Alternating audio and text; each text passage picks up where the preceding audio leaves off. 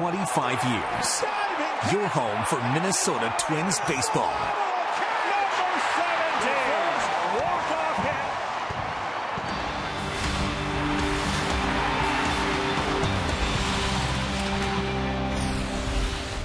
Twins fans started lining up at Target Field earlier today with two goals in mind. First, to snare one of the Josh Willinghammer bobbleheads, and secondly, to welcome the Twins home from a 10 game road trip.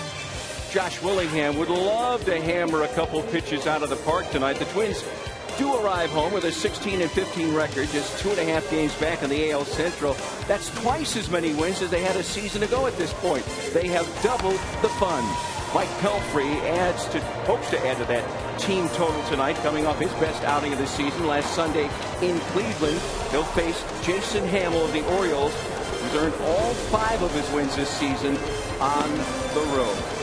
Twins return to the home office tonight for a nine-game homestand, and they hope Tim Lauder to carry over some of the momentum they built on the road. They did build some momentum, and it didn't start off all that great. They lost the first two in Detroit, but yet persevered and won the last game. They went to Cleveland, a hot team in the American League Central. They lost the first two games.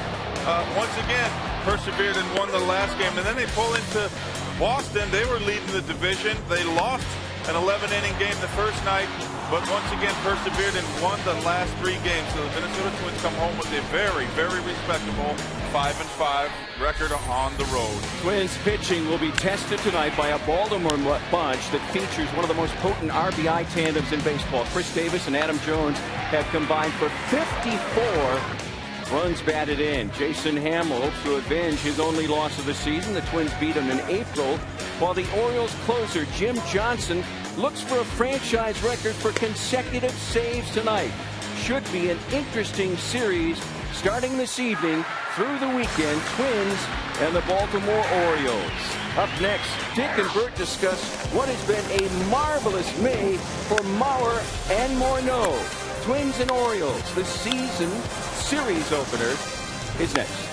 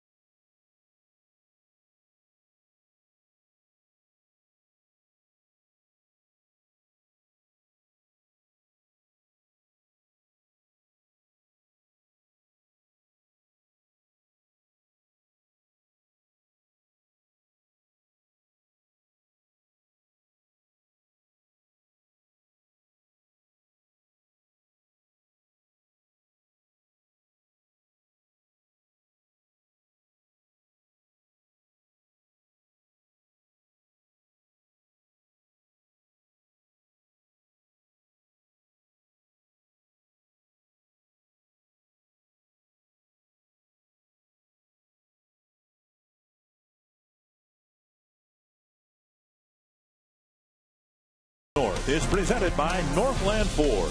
Visit northlandford.com and your local Northland Ford dealer today. And by Menards. Save big money on all your home improvement needs at Menards.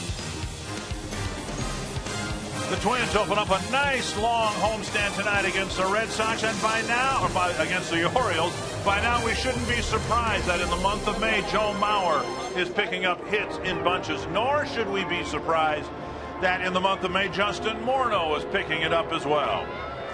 And we welcome you to Target Field. Beautiful night for baseball. Happy to have Bert Blyleven back with the Twins Good television. to be back. And the Twins coming into this homestand on a high note. No, we should not be surprised that uh, we are reminded after the series in Boston that the Twins have two of the best left-handed hitters in the game, particularly in May. Well, the Twins currently on a three-game winning streak, but on that road trip, we saw some couple hitters get hot. Justin Morneau and Joe Mauer combined hitting 344, and Justin driving in a lot of runs. Why? Because it seems like every hit Joe Mauer has had over on that road trip was an extra base hit, and Justin right there to pick him up to have him score a run. Well, the Twins have a nice long homestand. They hope it'll be a successful one. They came back to the homestand uh, a game above the 500 mark thanks to a good road trip. And a nice long homestand begins when we come back.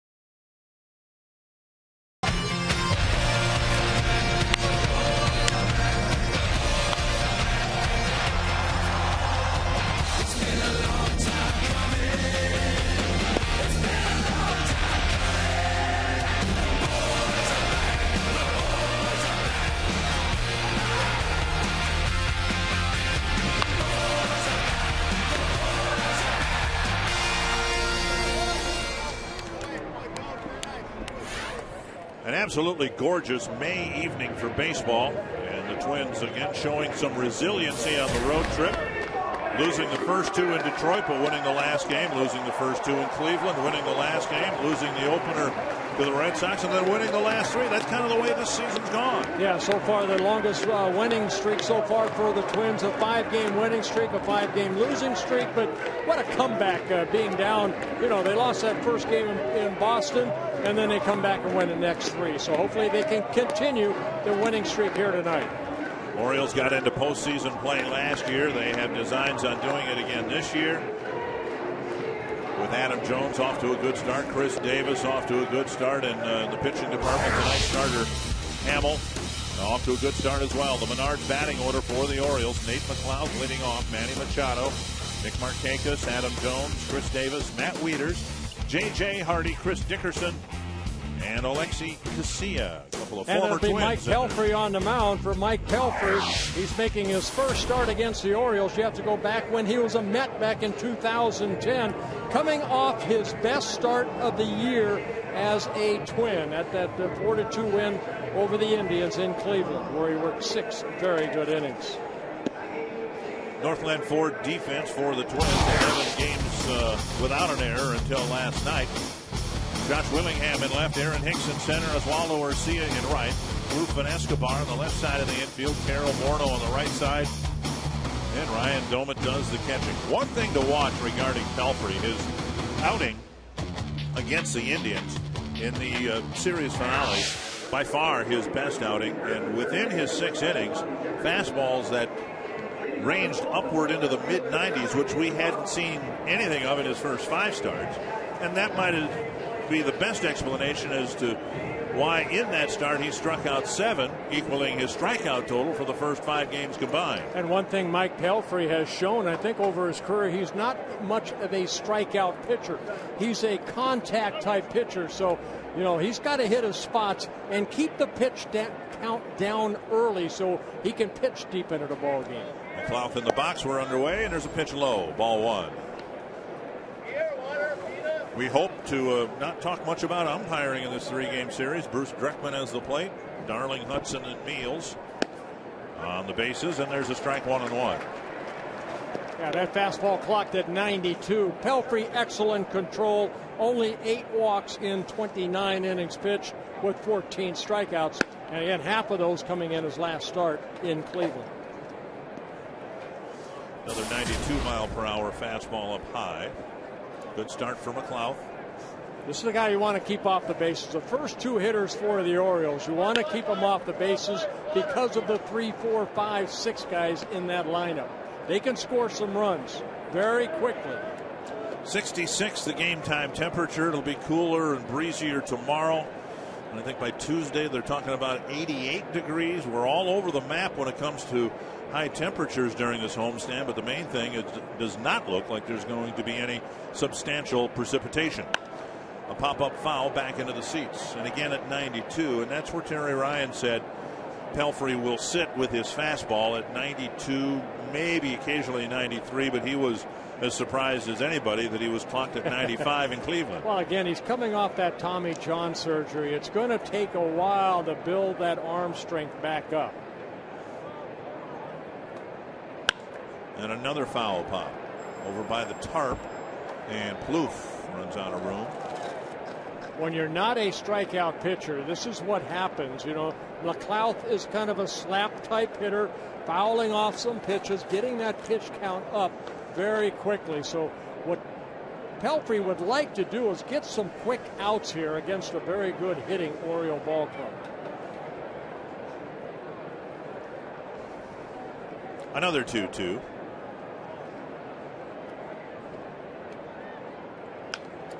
Third two strike foul. Pelfrey, 29 years old, of course, in his first season with the Twins, signed a one year contract over the winter. Spent seven seasons with the New York Mets. He was a Mets number one pick back in 2005 out of Wichita State University. Breaking ball, and McLouth wastes that one. Well, as a former pitcher, I did not like hitters like this that just keep fouling it off, fouling it off. You know, your idea, especially in today's game, that pitch count so important that you early in the ball game you'd like to throw maybe about 40 pitches in the first three innings, but at bats like this are not the way to start. Pitch number nine. So five two strike fouls for McLouth in the opening at bat. Yeah, McLouth in his second season with the Orioles, ninth major league season, hitting at 299. He has 11 stolen bases in 12 attempts. So this is another reason you want to keep this guy off the bases if you can.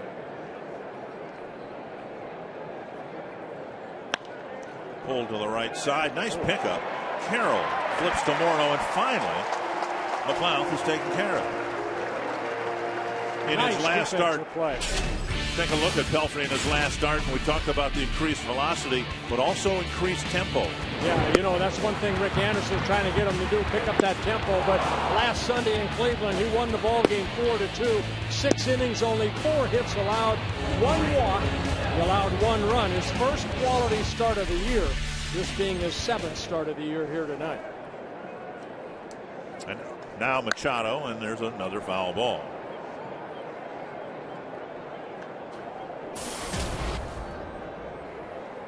Machado, a youngster, only 20 years old, already in his second season with the Orioles. Came up last August for the Orioles, made quite an impression. One and one.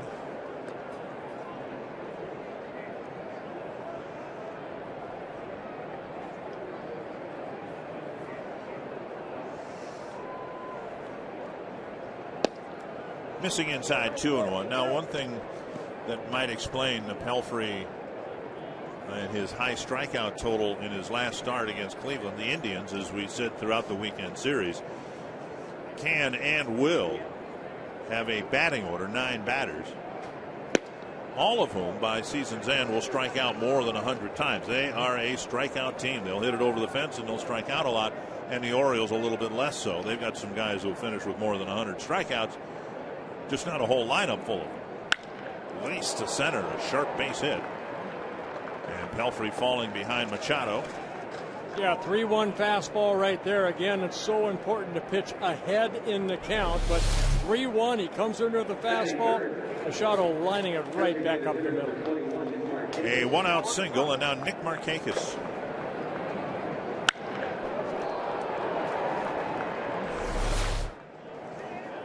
Markakis, the designated hitter by default. Buck Showalter said no particular reason to DH him. He's a really good right fielder, but they needed somebody to slide into the DH spot, and so it's Markakis tonight.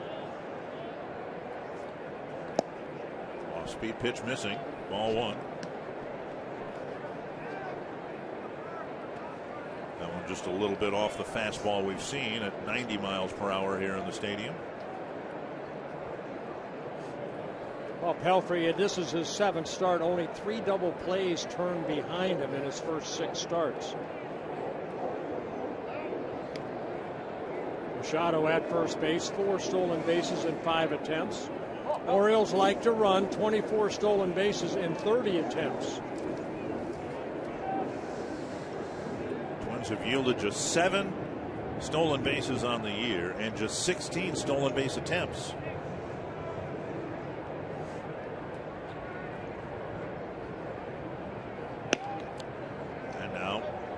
Pelfrey falls behind Markakis 2 0. You know, Dick, and that's a good number that you mentioned right there. What are they? Have thrown out seven of 15, I believe? Uh, nine of uh, 16. Nine, nine yep. of 16. I mean, that just that credits the starting staff or the pitching staff in general on holding on potential base stealers. Try to change the tempo a little bit. Don't hold it as long. Sometimes hold it longer. Give your catcher, Mauer or Doumit, a chance to uh, throw out that potential base stealer. 3 0 to Markakis Jones on deck. And you can't even say the Twins have the same catchers behind the plate because in reality, the one guy who did the best job throwing runners out last year is Drew Butera, and he hasn't been with the team this year. 3 0. Markakis hits one to center. Hicks retreating. There's a catch. And bluffing a tag is Markakis. So Hicks does a nice job, a routine catch, but he got rid of it quickly because, as you said, the Orioles like to run doesn't necessarily mean through the stolen base. Right. I mean, right there, 3 0. You know, Mar- Markakis had the green light. He flew to center field, but now you're looking at the meat part of the lineup, and that being Davis and Jones. You can see where they rank in top RBI duos. Only Cabrera and Fielder are better at driving in runs so far this year.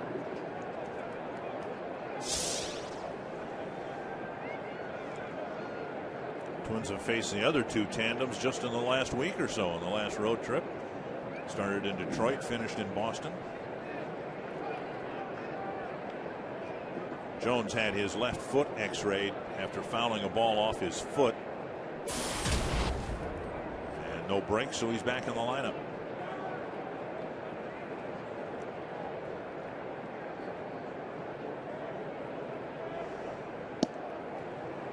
Pelfrey after that long at bat with McLouth has had a tough time throwing strikes ever since 20 pitches in the inning and just 11 strikes. Yeah, you know, a lot of guys you're talking about that left foot. Look at the gear that he has, almost like a, a catcher's shin guard wrapped all the way around uh, that shoe. Protect that left foot area.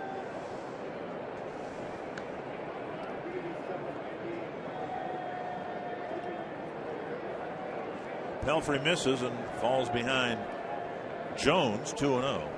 Again, these are the type of innings that Pelfrey we've seen him have 20, 25 pitches an inning. And that's why you can only go five, maybe five and a third innings. There's a strike on the outside corner. Pelfrey coming into this outing averaging 19 pitches per inning. Now, you compare that to, say, Diamond or Correia. Diamond came in, he's averaging 15 pitches per inning. Correia 14 pitches per inning. At home, you say, well, that's only four or five pitches different. But you times that by five, that's another inning, basically, by my California man. Deep to center. Hicks running after it and gliding onto the warning track to make the catch. Some erratic control for Mike Pelfrey in the first, but he gives up a hit, but no runs.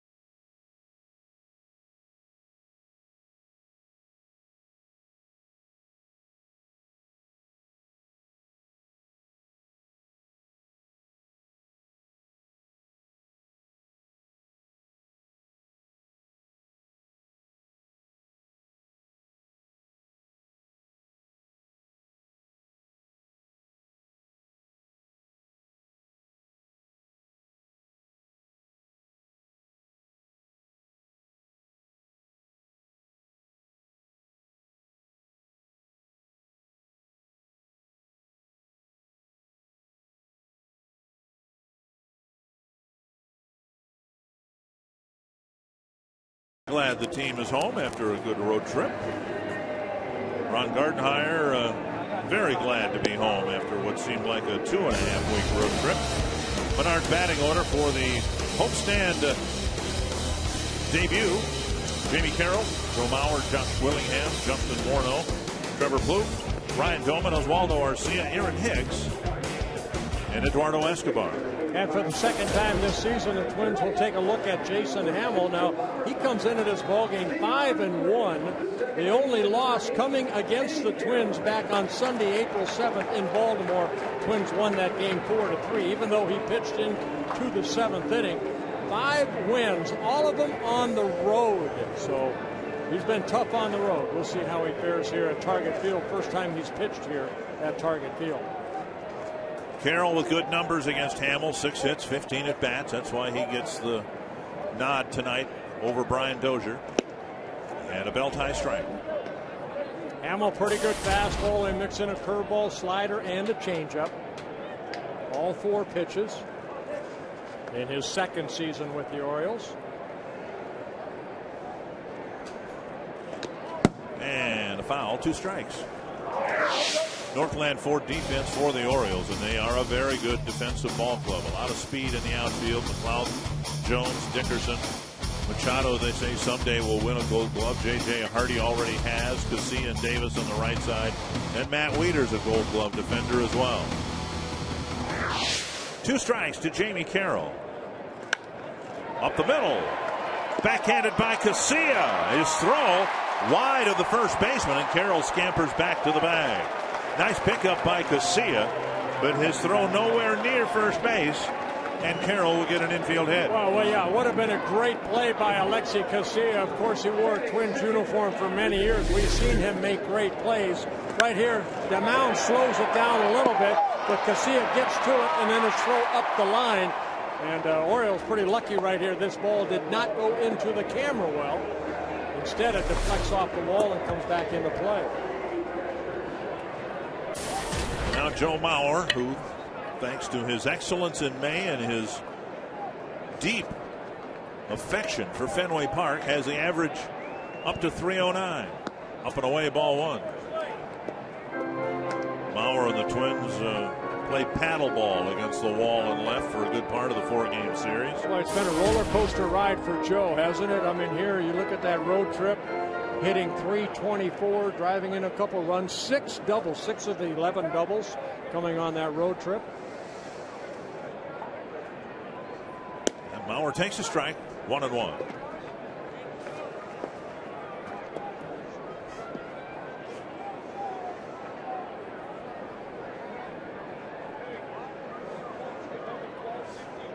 First 14 ball games, they came out red hot. Then he went through that little streak where he was struggling getting hits, but he's hot again. One and one. With Mauer DHing tonight. Twins played a night game, obviously, in Boston. Landed about 2 o'clock this morning. Ron Gardenhire just deciding, oh, we'll let Ryan Doumit catch and give Joe a little, and his legs, a little bit of a break tonight.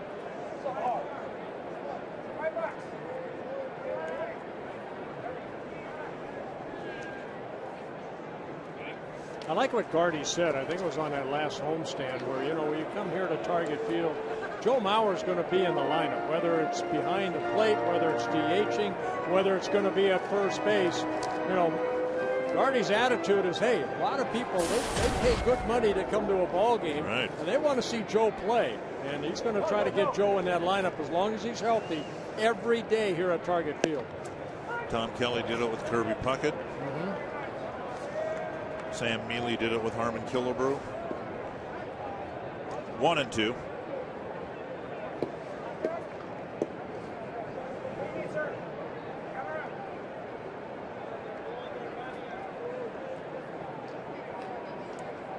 Carroll being watched closely at first. The Twins uh, have not stolen uh, as much uh, as many bases as I think they were hoping to. A lot of that has to do with the Hicks and his struggles. He was considered to be one of the top base stealers on the team. He just hasn't been on base enough. Mm-hmm. 13 steals and 19 tries for the Twins.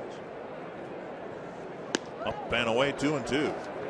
Well, Hammel coming into this ball game, 42 innings pitched, 16 walks with 26 strikeouts. Again, very good on the road. 5 and 0 on the road, a very good earned run average of 3.41. making his sixth road start and his fifth career start against the Twins. And Mauer dumps it behind third. Long run from McLouth. That's a foul ball by about five feet.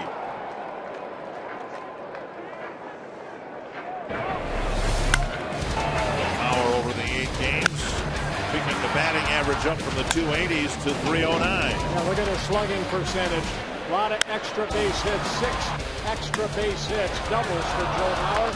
And there's eight runs scored. I guarantee you, Justin probably drove in all eight of those runs.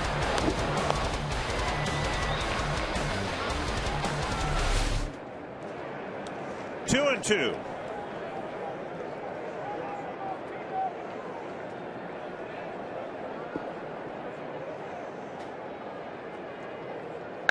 Driven to right. Dickerson has it go over his head. Carroll to third. Mauer to second. And unless we hear otherwise, we'll give Mauer a double. Another double. That would be double number 12. almost like a knuckleball. That's what it seemed like for Dickerson out in right field. Now, Markakis is a gold glove winner in right field. A breaking ball hung right there. Joe hits it sharply, and that ball maybe went a little bit further than Dick Dickerson expected. Reaches out, the ball gets by him, and they do give Mauer a double. And our viewing audience heard just a few moments ago what a great defensive outfield the Orioles had. Who told them that? Here's Josh Willingham. Even the best make errors. Infield back for Willingham, who did not have a good road trip, and he takes ball one.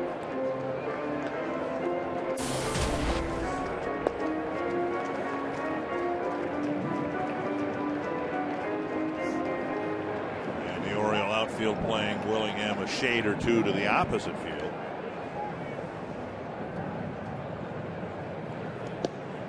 Inside 2 0.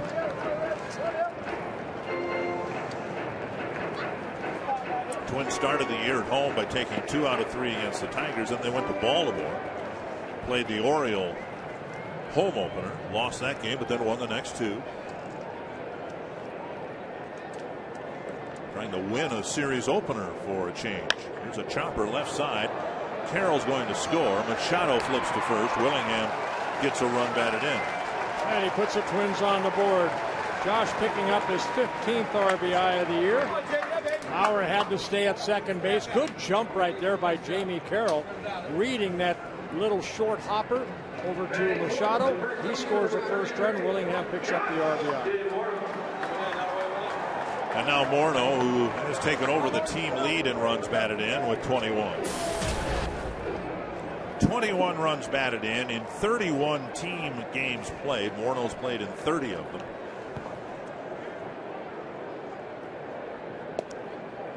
Outside, ball one. So you take Morneau's numbers and a run batted in for every two runs batted in for every three games played. And now you've got a guy in triple digits and home runs or RBIs again. That's what the Twins are hoping. And that's what Justin is hoping. One and one.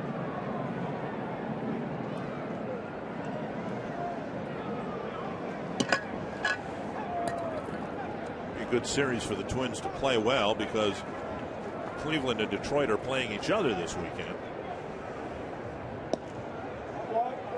And the Twins will have a chance every night out to pick up a game on one team or the other that sits ahead of them in the American League Central standings. The other team being Kansas City, and they're hosting the Yankees this weekend. Two and one to Justin Morneau. Fouled away, two and two.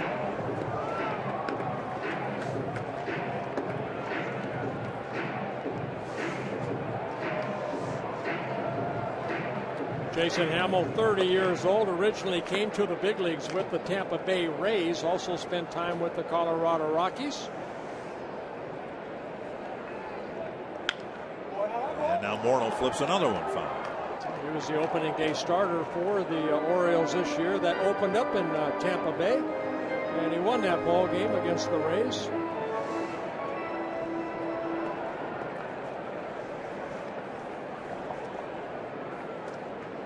Two and two to Morneau. Full count with Plouffe on deck. What Hammel's trying to do is rare. Only four pitchers have won their first six road decisions since 1920, and one of them, Jim Perry, in 1970 for the Twins. Yeah, that was the year that Jim Perry won 24 ball games and won the uh, Cy Young Award. Breaking ball got Morneau for out number two. Hammel picks up a strikeout, freezes Justin, definitely looking for something else, and then dropped that big slow curveball for his first strikeout.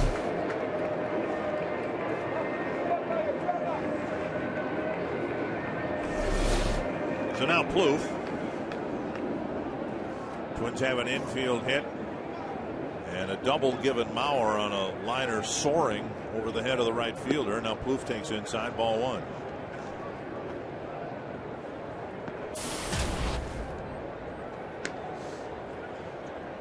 Both starters throwing a lot of pitches in that first inning.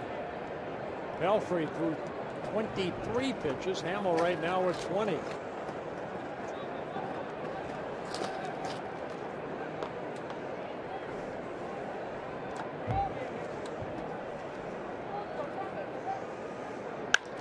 Driven to right field. And Dickerson makes the play here to end the inning.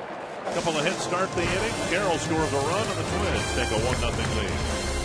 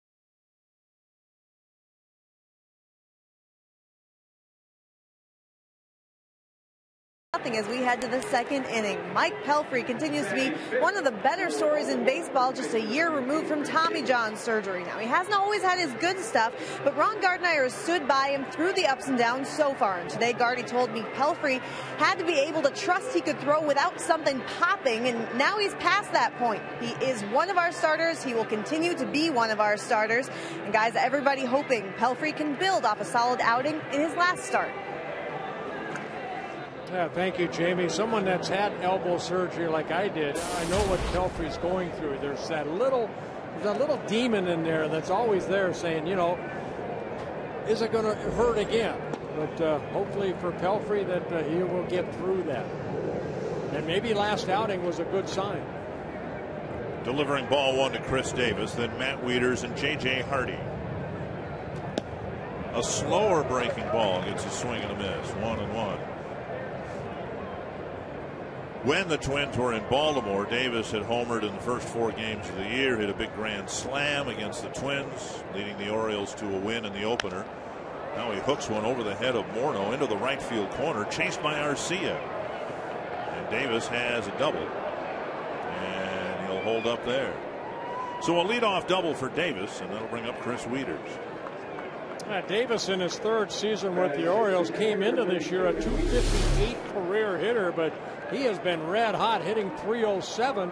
That ball left up right there, and Davis turns on it and hits it down that right field line. His 10th double of the year.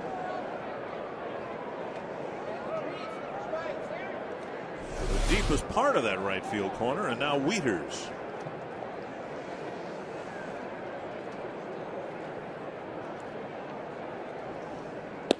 Strike on the outside corner, and I think it's the first batter since the leadoff man McLouth, where Pelfrey's gotten ahead of the batter.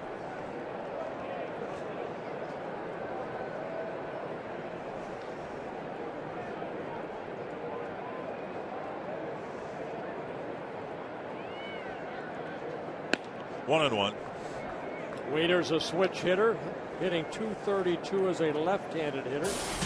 Two of his four home runs as a left-handed hitter.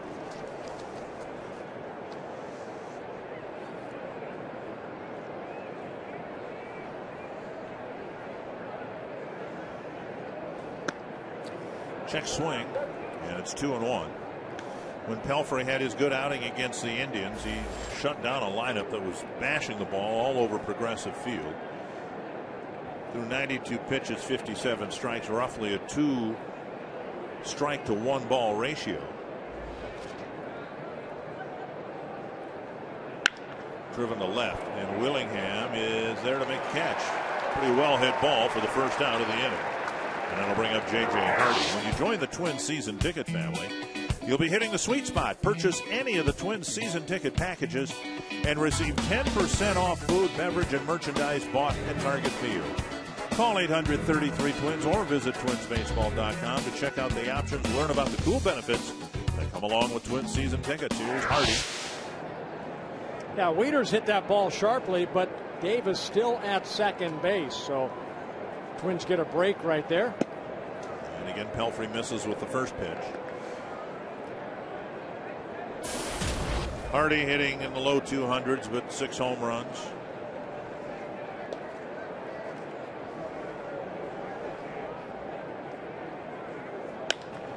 Hanging in the air to center, and Hicks has a play and makes it out number two.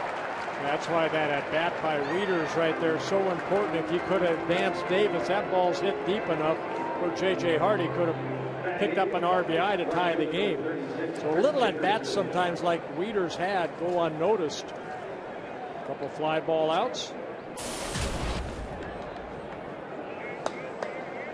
Here's Chris Dickerson.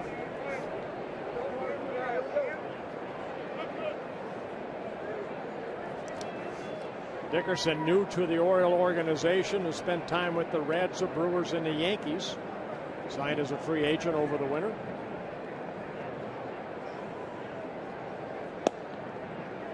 Ball one again.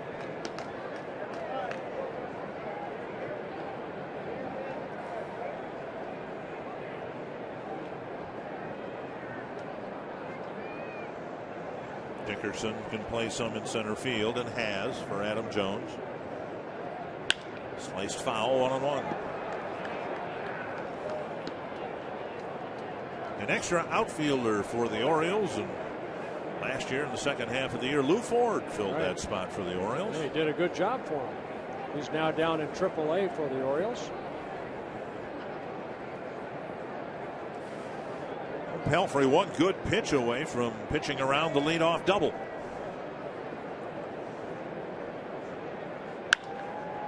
A foul ball. One and two.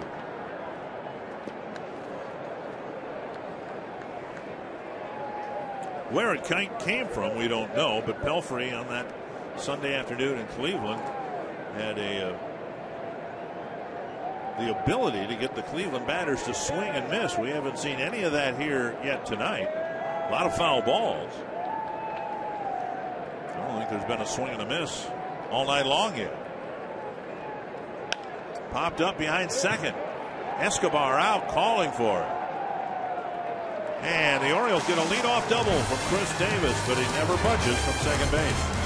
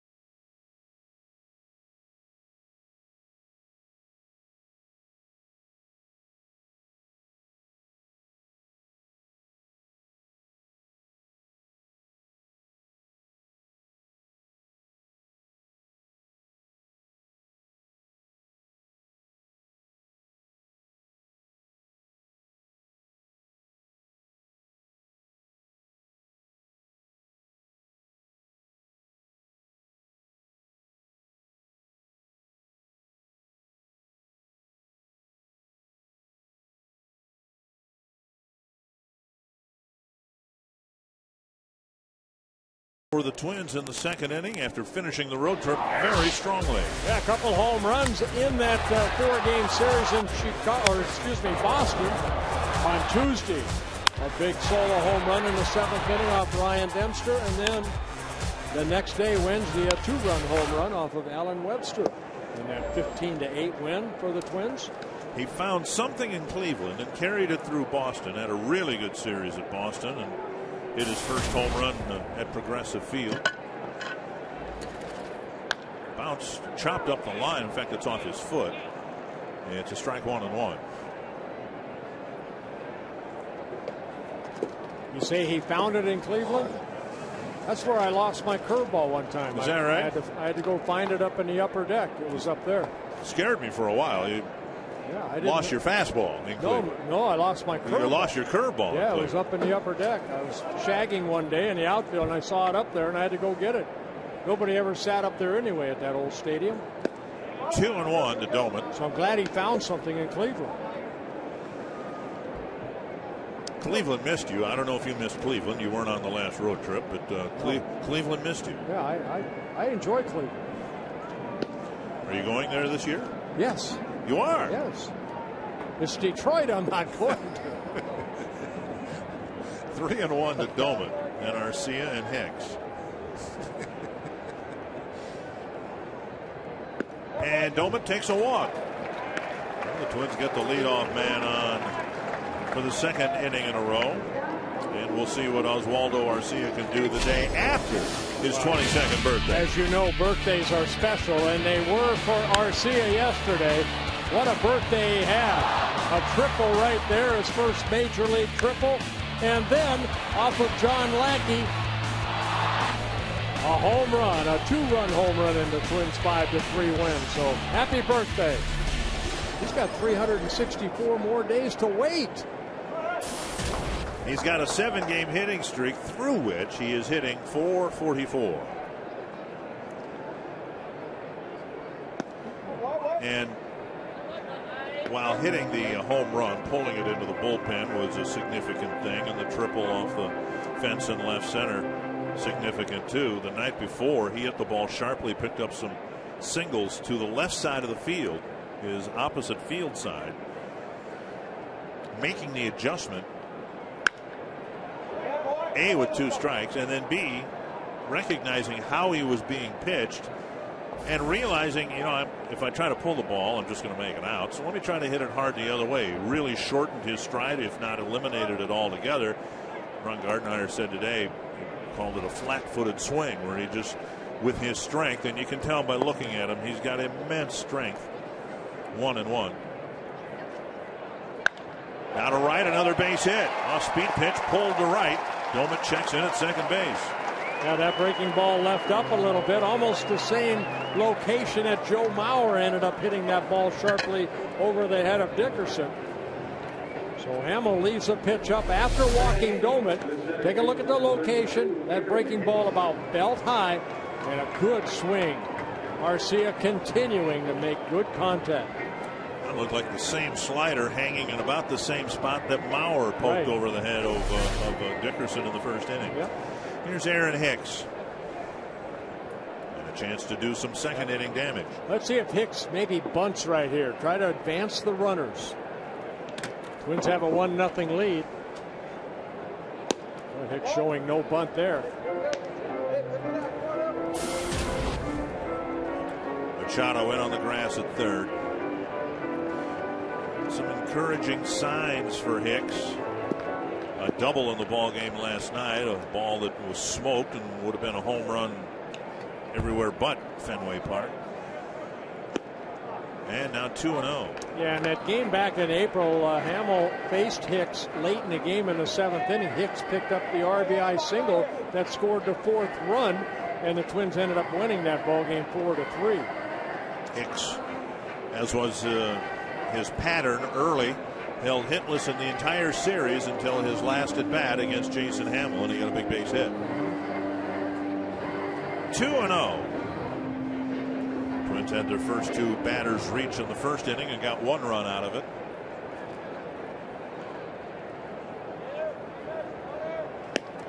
3 and 0 with Escobar on deck. And now Hammel, 31 pitches, 16 strikes. Hammel struggling. The walk Doumit. Marcia left a breaking ball up, base hit, now falls behind Aaron Hicks. Takes a strike. Uh, Hicks has to look for that same pitch again. When you're a pitcher out there and you face that lower part of the lineup, you don't want to walk these guys right here. You want to make them swing the bat. So Hicks, I'm sure, 99%, he's going to get another fastball right there. And he sends it up the middle, a base hit. Doumit around third. He'll be held, and they're loaded up. Jones throw well up the line, but with nobody out. Doumit not the fleetest of foot. Hicks gets a base hit, and they're loaded up now for Escobar. That's a good at bat by Hicks. You know why? In a 3 1 count, he didn't try to, you know, hit the ball out of the ballpark. He took that pitch right back up the middle and loaded the bases for the Twins. Good swing right there by Aaron Hicks. And you can see Jones was not playing very deeply and alertly Joe Vavra telling Doumit, hey, stay at third.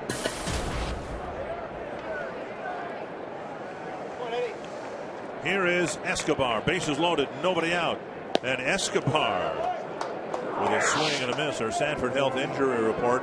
Pedro Florimon told me late in batting practice today his leg is fine. He expects to be able to play again tomorrow night. Yeah, you said that he just tweeted that the hamstring when he you know went across first base, and uh, he's guess what? He's dead a day. Up to Escobar, and it's one and one. Uh, Escobar, a switch hitter, hitting both good from both sides. His home run came as a left-handed hitter, but he's hitting 313 as a left-handed hitter. He's driven in five runs so far in limited playing time. There's swing and a miss at a 93 mile per hour fastball. Yeah, big swings right there. See if he tries to cut this swing down a little bit. It's one of the things Tom Brunansky's been encouraging his hitters, though, too, is to let it rip. Don't go to your two strike swing before there are two strikes. Right. We've seen Escobar drive the ball. Didn't have the best of road trips. He entered the road trip hitting 438. Got a piece, fouled it back. Escobar's only home run so far this year came in Kansas City against Jeremy Guthrie, who's he's, he's pitching really well for the Royals, five and zero. Beat the Orioles last night, mm-hmm. and uh, Hammel, the guy that the Orioles got for Guthrie offseason trade before 2012, and he chased upstairs and Hammel kept going up there until he got a swing and a miss for strike three. got a big strikeout right there for the first, first out. Tomorrow, soccer returns to Fox. Manchester, I didn't know they left. Manchester City takes on Wigan Athletic in one match for England's most storied trophy. The FA Cup final with Budweiser is Saturday at noon Eastern, only on Fox. And now Carroll singled up the middle in the first inning and scored. Bases loaded, one out. And a strike.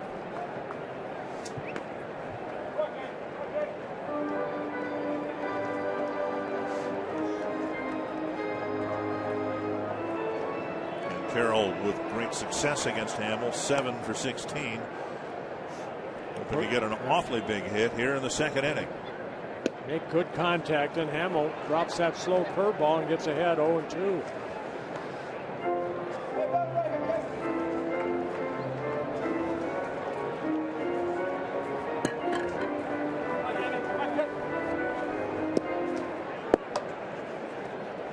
Two strikes to Carroll.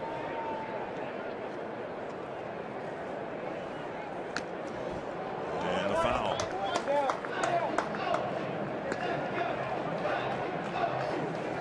Carroll just three runs batted in on the season. He's not expected to be a, an RBI guy. Has scored 10 runs in limited duty.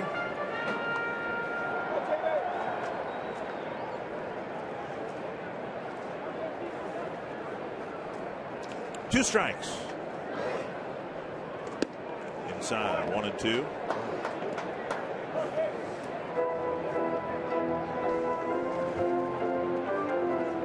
Well, Jamie Carroll, you know, not a lot of power, so of course Dickerson in right field, Jones in center, playing very shallow.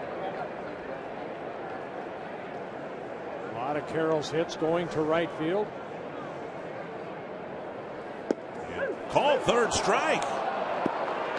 He hit the inside corner, and Carroll disagrees as he walks away from Bruce Dreckman, two down. Well, two big strikeouts for Hammel. Carroll thinking it's inside. You see where Wieters wanted that ball away, and that ball sure looks like it's inside, but he gets the call. Right over the stripe of the batter's box. So now it's left to Mauer, who hit a line drive over the head of Dickerson for a double in the first. Double, a pair of outfield hits, no runs on the board yet here in the second inning. Ball one.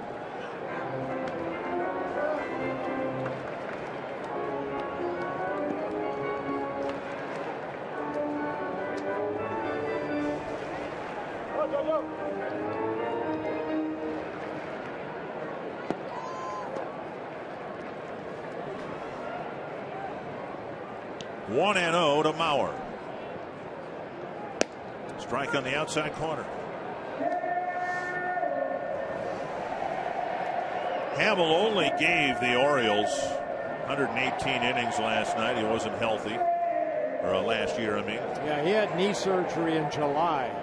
That kind of shut down his year last year. One and one. Driven foul, one and two. Theory was he might prosper if he got away from Coors Field. And maybe the prospering will begin in 2013 now that he's healthier.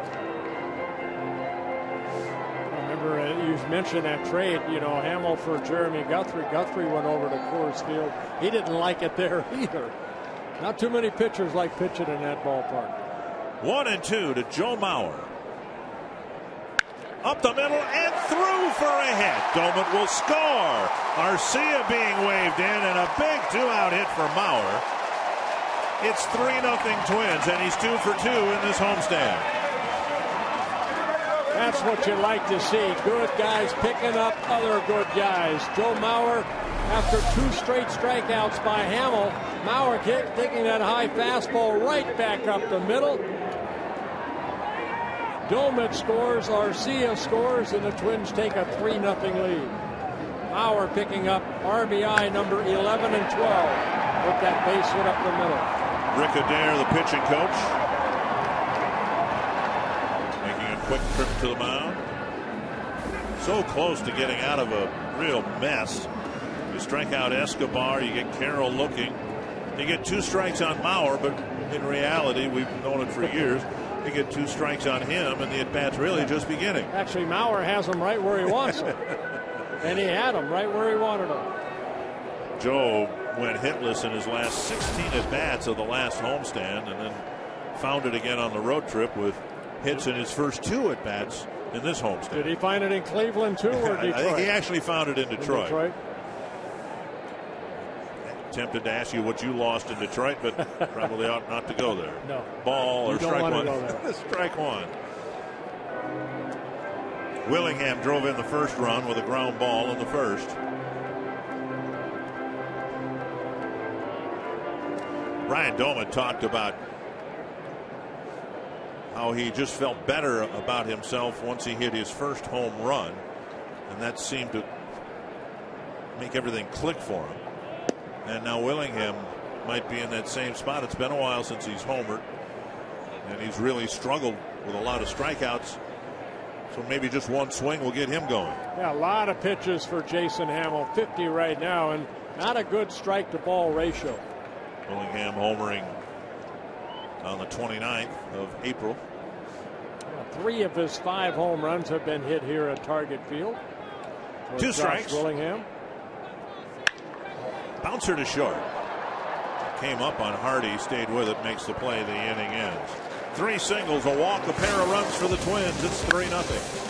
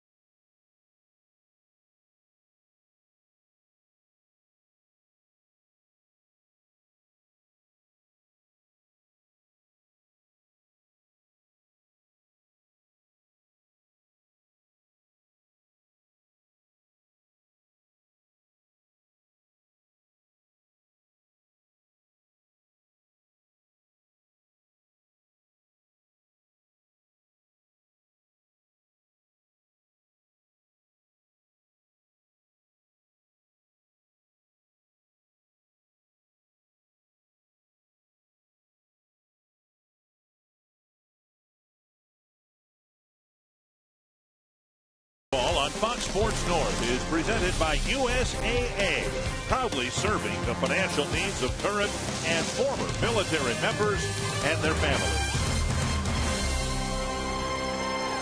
Running the first for the Twins, two in the second. Mike Pelfrey's pitched around a one-out single and a leadoff double. He'll face Alexi Casilla.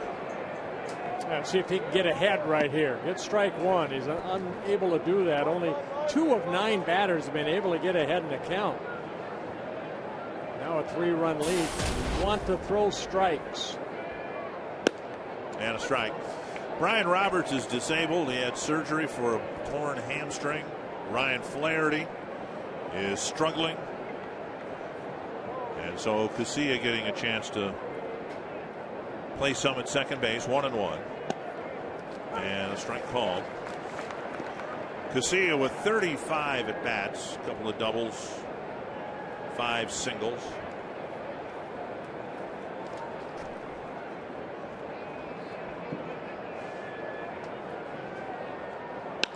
To center, and Hicks coming in, and he plays it on a hop. Casilla gets a base hit.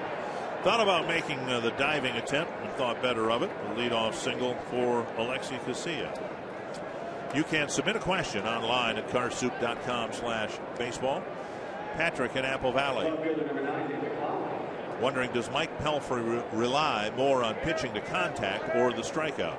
I think he's more of a contact pitcher. Of course, he struck out seven in that last outing in Cleveland, but over his career, he's had a career high eight strikeout game. That's as high as he's ever had the most strikeouts in one ball game. So he's more of a contact type pitcher. There's strike one, a 91 mile per hour fastball. Pelfrey making his 156th major league start. He has 53 major league wins.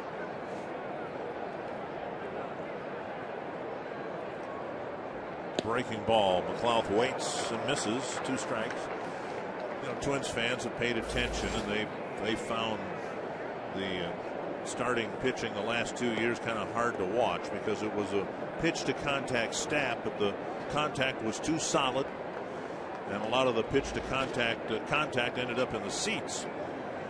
Two strikes, and McLouth fouls it back. But what I think we've seen here in the first five six weeks of the season, Bert, is you know a pitch to contact approach can be good, and and can really benefit a pitching staff. There's a reason Kevin Correia went seven innings or more in his first five starts. He's a pitch to contact guy. He got some quick outs and thereby save the bullpen some of the work that uh, they might ordinarily been asked to do. And that's exactly what Scott Diamond is.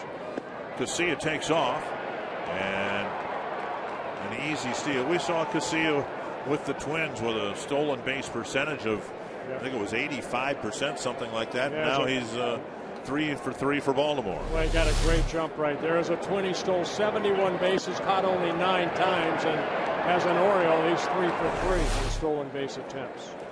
Runner at second. Nobody out. One and two for Nate McLouth. No, you're right, Dick. I think the whole staff, they really don't have, you know, a guy that's going to go out and, you know, strike out a batter per inning. Most of the strikeout guys are in the bullpen. And Pelfrey goes upstairs to get a strikeout. we talk about strikeouts, and Pelfrey picks up his first strikeout. And that'll bring up Machado. And McLouth kind of swinging out of the on that high fastball, swung right through it. So one down, and Machado single to center his first time up.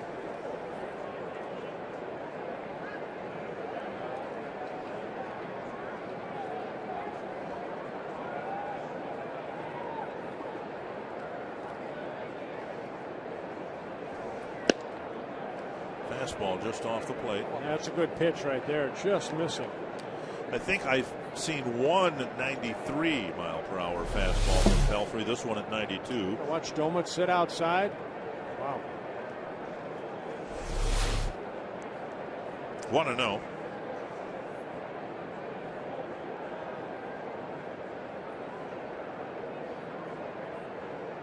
Long look at second. And a chopper to third. Plouffe fires on the run. On target, two down, and still stuck at second is Casilla. Pepsi fans of the game probably see more Twins fans here than at Fenway Park, I would think. There they are. well, here we go. Let's see if the telly works. You were here by Circle, Pepsi fans of the game.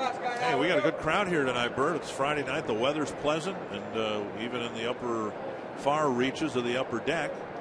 You know, and I flew in last night from Fort Myers, Dick, and even at the airport waiting for our bags, there were people talking about the Twins. You know, I mean, coming off a, a very good road trip, there's that buzz again. I think that yeah. uh, that's felt here, and that, that's a good feeling. Here's Mark Markakis, runner at second, two away. Off speed pitch, down and away, ball one. I had no trouble with my uh, my suitcases. About your suitcases? Oh, you heard about that, did you? Somebody told me that. Week and a half long road trip. Suitcase worked fine. It opened. It shut until I tried to leave Boston. Couldn't get it to shut. And what did you do? Well, we ended up getting a, a huge plastic bag. It looked like a body bag, and we put everything in the the suitcase included into the. You kept the suitcase. Why didn't you just throw the suitcase away? Because it's property of the Minnesota Twins. It oh. wasn't. It wasn't uh, for me to do that. If I'd have done what I wanted to do with the suitcase, it would not have made the return trip from Boston. I can promise you that. You're probably sweating a little bit, weren't you? Did you know, did you throw the bag over a, your shoulder and look like Santa Claus? You know, there's an old saying in broadcasting. You know, what you see in a hotel room, what you hear in a hotel room, you need to leave in the hotel room. But apparently, they that, should put that in the clubhouse too. Three and zero oh on a walk to Markakis fills first base. And now Adam Jones comes to the plate as the tying run. Yeah, the first walk of the ball game for Pelfrey. But it comes with two outs here, and now you got the dangerous Adam Jones at the plate. Pelfrey's done a good job of keeping the ball in the ballpark. Only two home runs allowed. This is his seventh start. Jones hit a fly ball to center his first time up.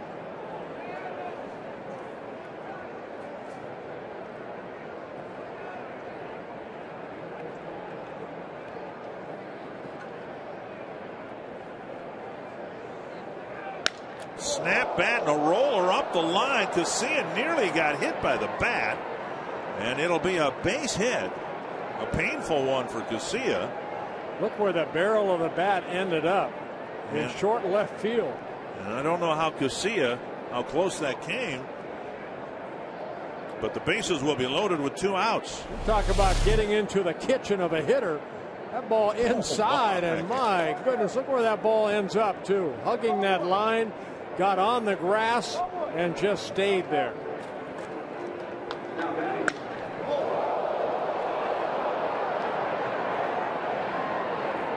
So they're loaded up two down and now Chris Davis.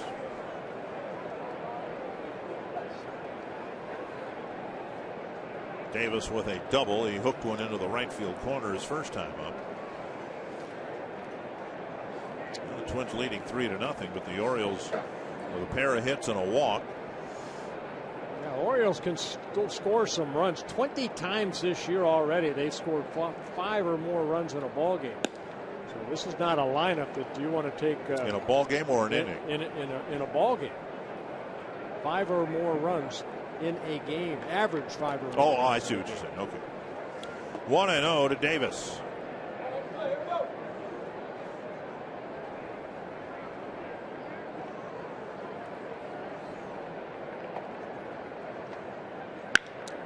deep to left field. It'll slice and slice foul, but you can see the power of Chris Davis. That ball hit off the limestone to the opposite field.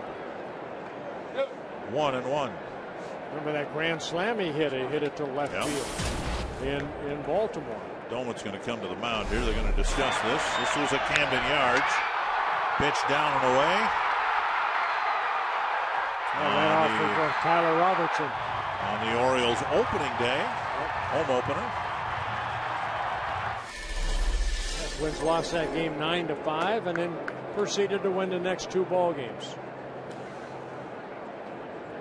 Pelfrey's pitched around the trouble he's found himself in. After the leadoff double in the second, he got the next three men, but now here in the third, the Orioles mounting a threat with two gone. One and one to Chris Davis. High fly, center field. Love those sacrifice flies. Hicks ends the inning, and Pelfrey leaves three more aboard in the third. Good trip by Doumit.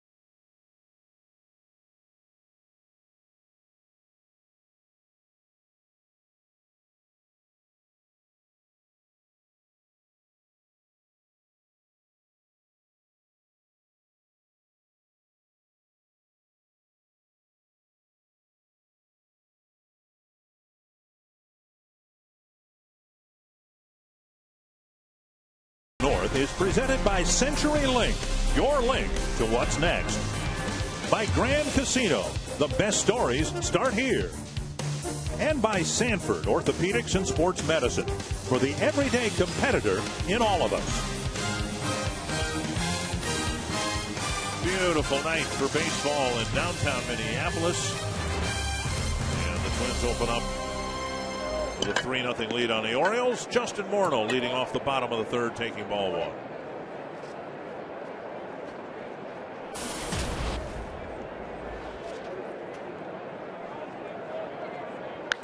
Down the right field line. That's a fair ball. Morneau digs for two.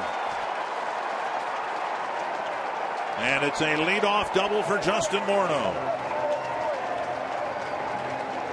Appeared to be, again, one of those hanging sliders that Hammel's left in there to the left-handed batters. Well, that's a fastball right there, but he has left, both pitchers have left some balls up, and good swing right there by Justin, driving that ball into that corner at the 328 mark. Dickerson has to get it back in, but it's a double for Justin, his eighth double of the year. Twins pick up their sixth hit already against Hammel. Here's Plouffe, fly ball to right, his first time up. Up the middle, Morneau will advance. Hardy skips to his left and makes the throw. And Plouffe lost most of his bat. And Morneau alertly scampers up a base one away. Well, that, remember Wieters, you know, with, uh, with Davis at second, you know, he was unable to move him. Even though that's an out right there, that's a productive out by Trevor Plouffe, getting Morneau over to third base, now giving Doumit an RBI opportunity. That's going to bring in the infield, I would think, for the Orioles. Down 3 nothing. They do shorten up the infield. Doumit walked leading off the second and scored the second Twins run.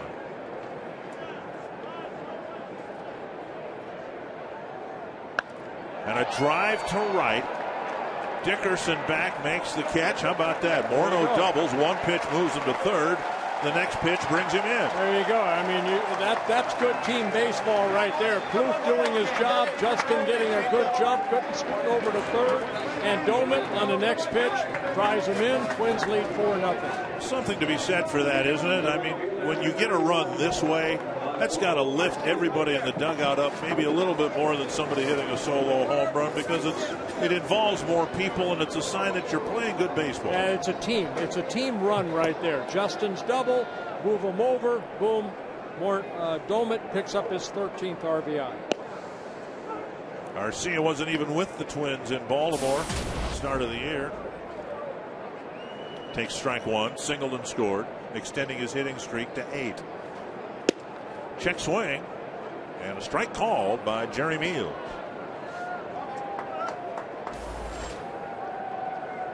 I like what Tim Laudner talked about Arcia in the pregame. He called him kind of a project when he came up. Remember, Darin Mastroianni put on a disabled list. Twins brought up Arcia, and Gardy said, "You know what? This guy needs to play." And you know, he started off a little slow, but boy, he's been on fire over the last 10 days. He's been a red hot.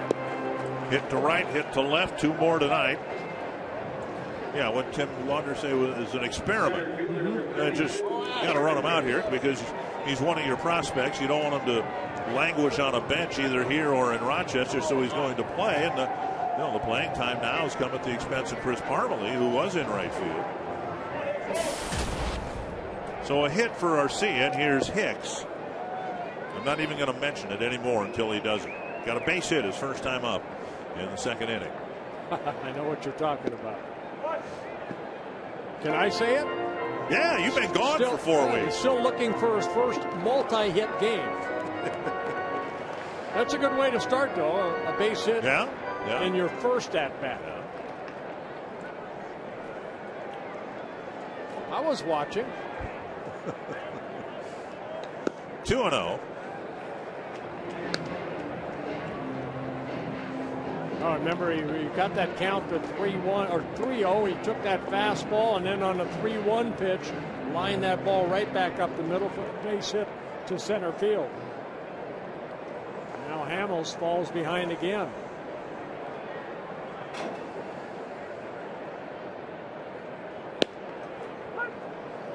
Two and one.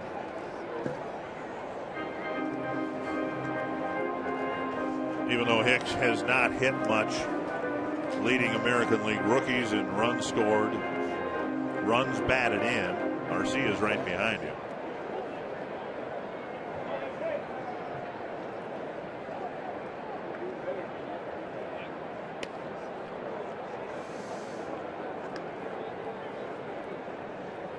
Leading uh, American League rookies in walks, outfield assists. And even though the hits haven't come as often as he would like, I think we said during the last homestand, we're seeing other parts of his game that make him such a prized commodity for the Twins. A flare to left, and McLouth is over to make the catch. Another run for the Twins. They've scored in every inning so far. They lead it 4 0.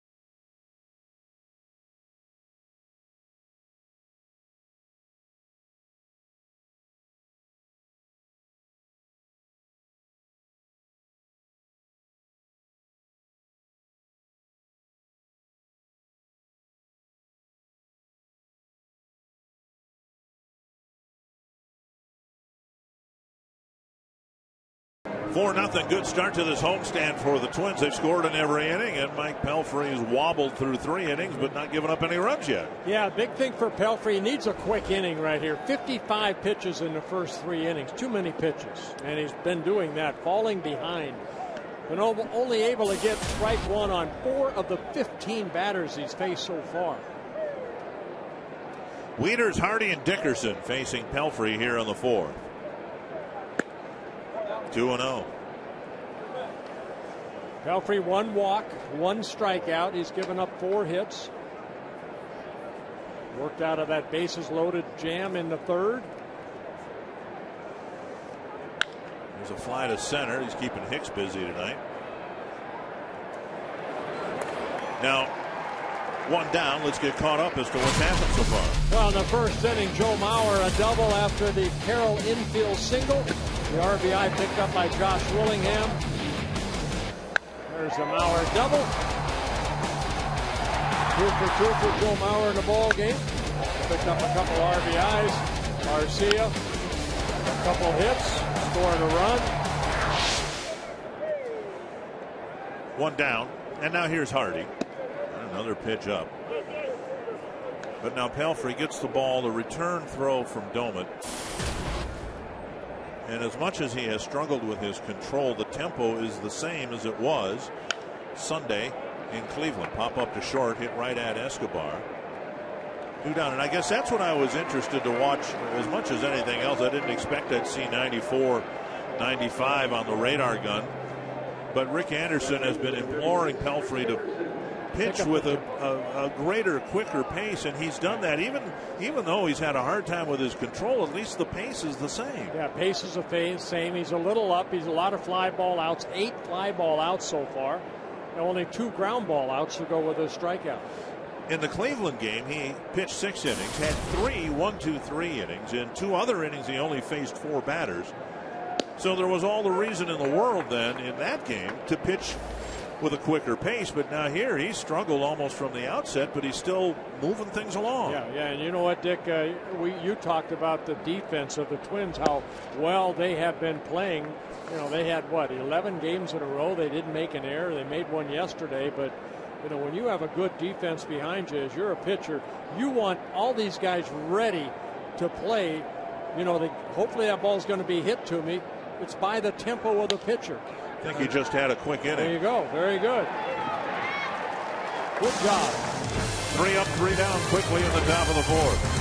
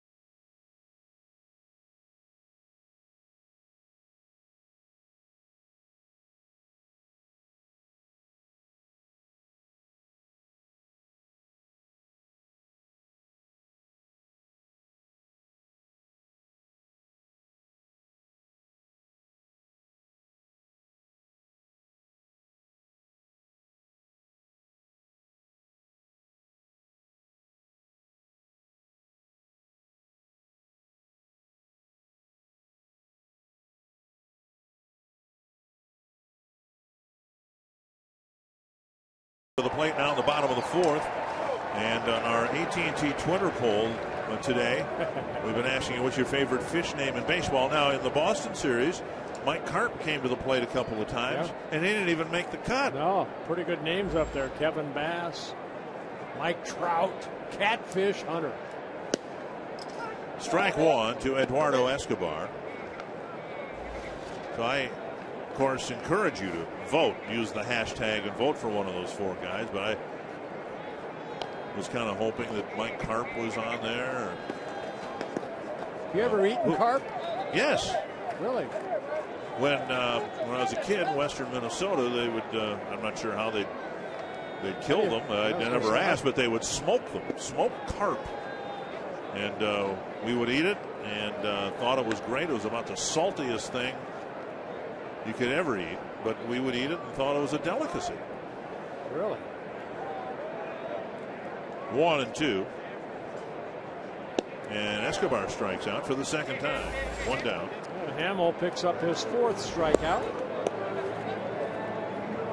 You've never had smoked carp? No, I never have. Willie Stargell with the Pirates was one time telling Dale Berra how to cook up carp. He said, go to the go to the lumber store, get a really nice piece of redwood, and then put the carp on it, put all the seasoning on, put it in the oven at 450, whatever it is, and then take it out, throw the carp away, and eat the redwood. yeah, that's the best way to that's eat carp. about right. I'm not a gardener, but I understand they make great garden fertilizer. dig a hole, bury them, and what'll grow? More carp? I don't know. Here's Carroll, single and a strikeout so far. Hey, everybody be safe in the fishing opener, and if you're yes. the uh, fortunate uh, part of the state that doesn't have ice on the lakes yet, if you found open water tomorrow, good luck. Season opens tonight in what about three and a half hours? Yeah, have fun, everybody. Catch the big one. Carroll strikes out. And Wieters flips to first. Two quick outs here in the Twins. Hammel picks up strikeout number five. Carroll for the second time.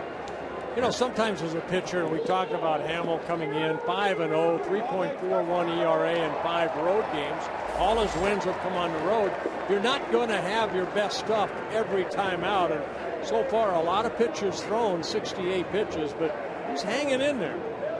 Five strikeouts, Twins have been able to put a, a, board on, you know, run on the board first four in three innings. Seven hits for the Twins, two of them by Joe Mauer. Ball one.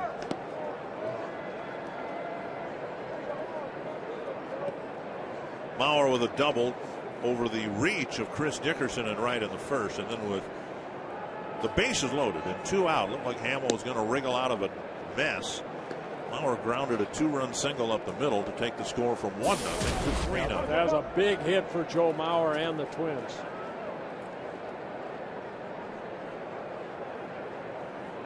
Two and zero, oh. And a strike.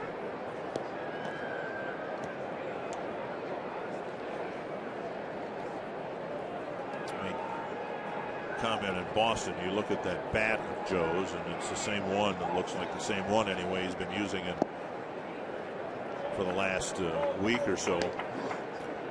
But some guys break a lot of bats. We've seen some shattered bats in this game, but hitter like Joe, just about, you know, when he makes contact, puts it on the barrel of the bat. They don't go through too many bats. That one looks like it's been used for about two weeks. Three and two. I'll have to check with Joe about that yeah. particular bat. Yeah, that, that would be a good question. I remember going into the Hall of Fame into the into the vault and seeing a Babe Ruth's bat where actually there were notches in it. How many home runs he hit? Oh, is that right? Yeah, he must have hit that. He was a bat almost all season long. You could have done that with your gloves. Well, I used. You know what? I can be honest because I came up before the designated hitter in 1970. Right. And then I had to hit again when I went to the Pittsburgh Pirates. I used the same bat for six seasons. Oh, is that right? Yeah, and there wasn't even a mark on it. I still have it at home. Could have awesome. could have taken a canoe paddle up there. Wouldn't have made any difference, right? Would a, a canoe paddle's a little bit wider. I might have more of a chance. Mauer swings and misses. A really good inning for Jason Hammel. He strikes out Escobar, Carroll, and Mauer.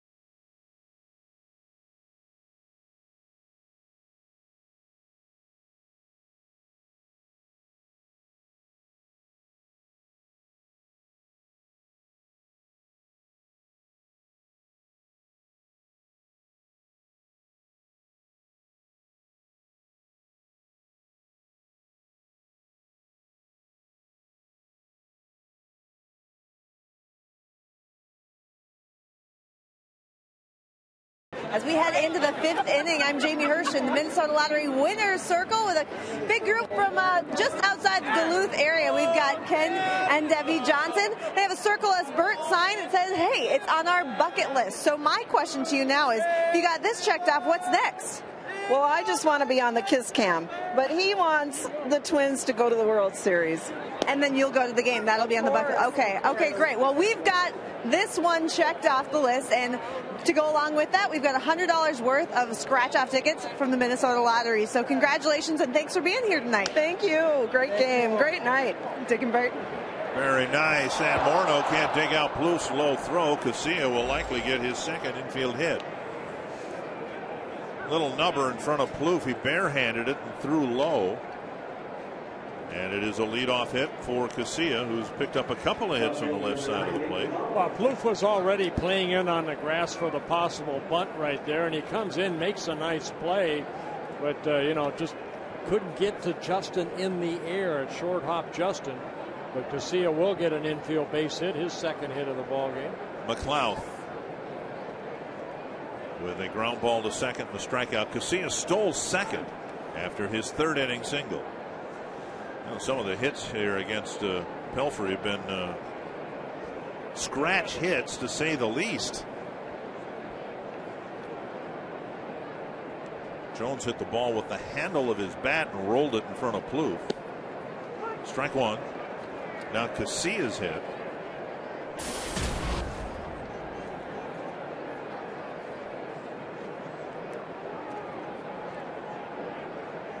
One strike to Nate McLouth.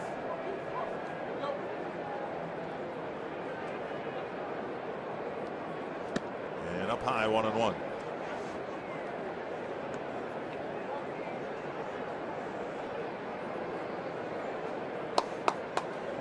Pelfrey at 67 pitches, 39 for strikes. One walk, one strikeout.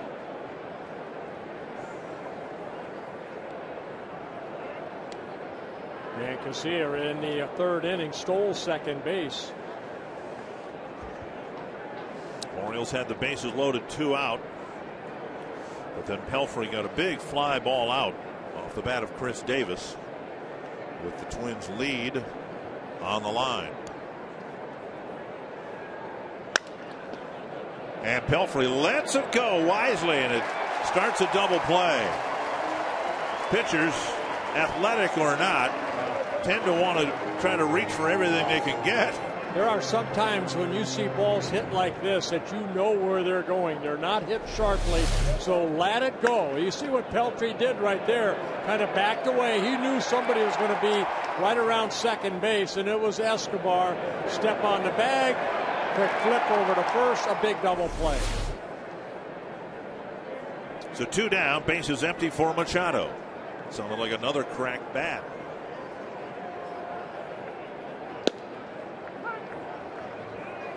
I think that's, that's a good strike right there. That might be the best pitch I've seen Pelfrey throw as far as get strike one. Good fastball down. Good delivery. One and one. Pitch to contact approach has been maligned in these parts for the last couple of years again because the contact was too solid. There are a lot of ugly innings and ugly games because of it.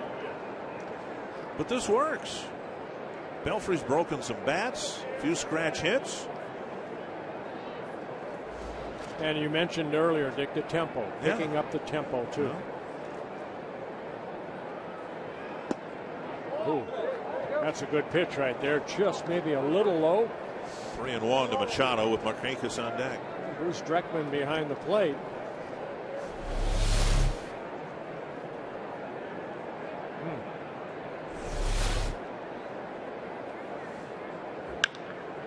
Bouncer foul. Well, some I know there's two outs, Yeah. but with you know talking about umpires, Bruce Dreckman, uh, you know we saw that incident. A lot of people, I'm sure, in Houston, were, you know the pitching change was allowed without uh, reliever coming in and not even facing a hitter. So, and then Fieldin Culbreth today got suspended for uh, two games.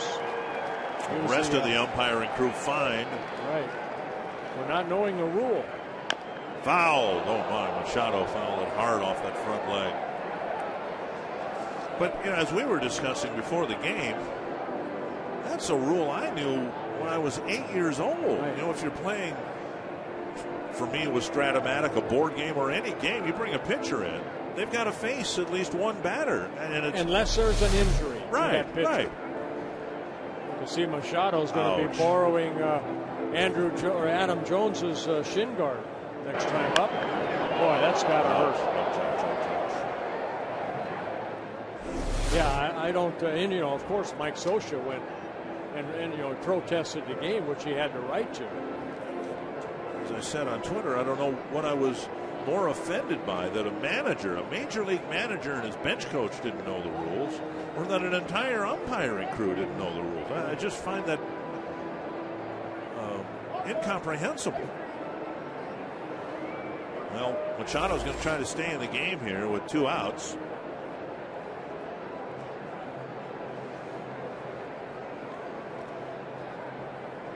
Pelfrey getting an attaboy from Ryan Doumit.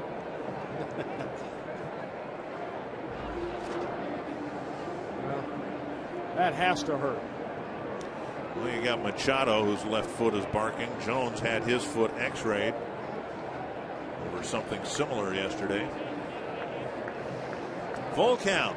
Those sinking fastballs will do that. The hitters think they're right on it, and then they, you know, when they make contact, boy, they hit the bottom of the bat right into their shin area or ankle area.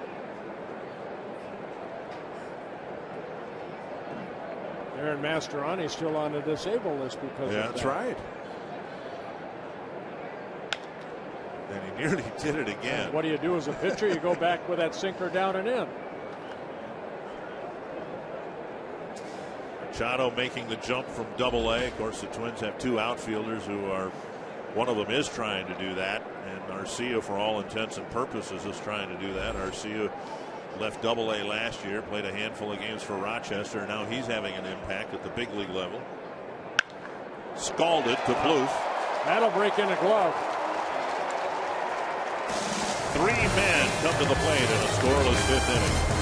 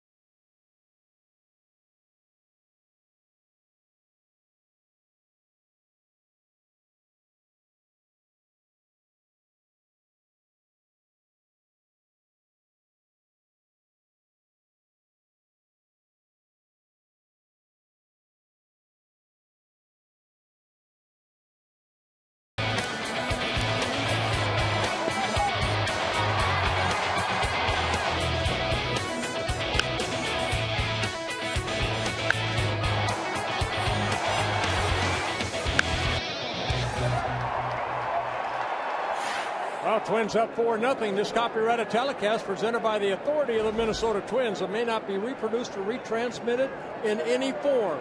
And the accounts and descriptions of this game may not be disseminated without the express written consent of the Minnesota Twins. Josh Willingham leading off the Twins' fifth inning. Both pitchers had some difficulty early. For Hammel, that's nothing new. He is one of those guys. Swinging a miss, two strikes. He's had a couple first inning get away from him this year where he gave up three runs. And you hear uh, just one run in the first, but then two in the second, another in the third. But he struck out the side in the fourth. He jumps ahead of Willingham quickly, 0 2. You see that a lot, Dick, from you know starting pitchers. You know, you have to get them early until they settle in, and then Hammel seems, you know, he struck out the side as you mentioned there. He, he gets Willingham. A crazy bone it must be because it was a a breaking pitch, not thrown very hard, but it, the way he reacted, it must have gotten Willingham right in the back of that left elbow. Willingham, uh, you know, it's the fifth time he's been hit this year. He kind of puts a smile on his face right there. That ball, kind of breaking ball that ends up hitting the back pocket where they hit his arm. Just take a look right here. Oh, kind of, yeah, back of the elbow area. The thing you do when you bang your elbow against a chair and you don't want to live for about seven seconds. That's what just happened to Willingham. Yeah, they call it the funny bone. There's nothing funny about that. Here's Morneau. Up and away, ball one. Morneau with uh, a strikeout, called out on strikes in the first, then a lead-off double in the third. He hooked one into the right field corner.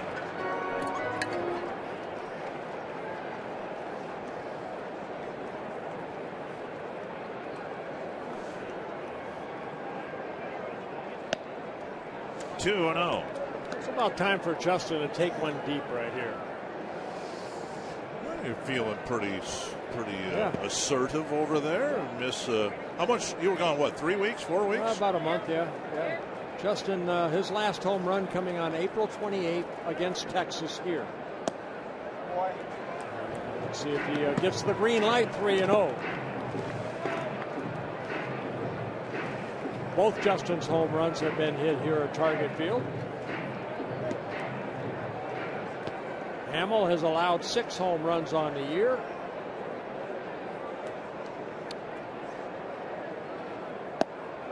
Four pitch walk.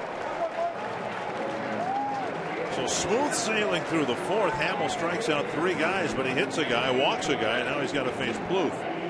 Celebrate with the Twins the 20th anniversary of The Sandlot with a special screening on the Target Field scoreboard May 19th after the Twins game. Special guests included the director and narrator David Mickey Evans, plus Squints and Ham from the cast. Get your tickets, go to the game, stay for the Sandlot screening Sunday, the 19th of May. And if you can't make it to the game, watch it all from home on Fox Sports North. Here's Plouffe, a fly ball to right and a ground ball to short. Blocked by Wieters, ball one.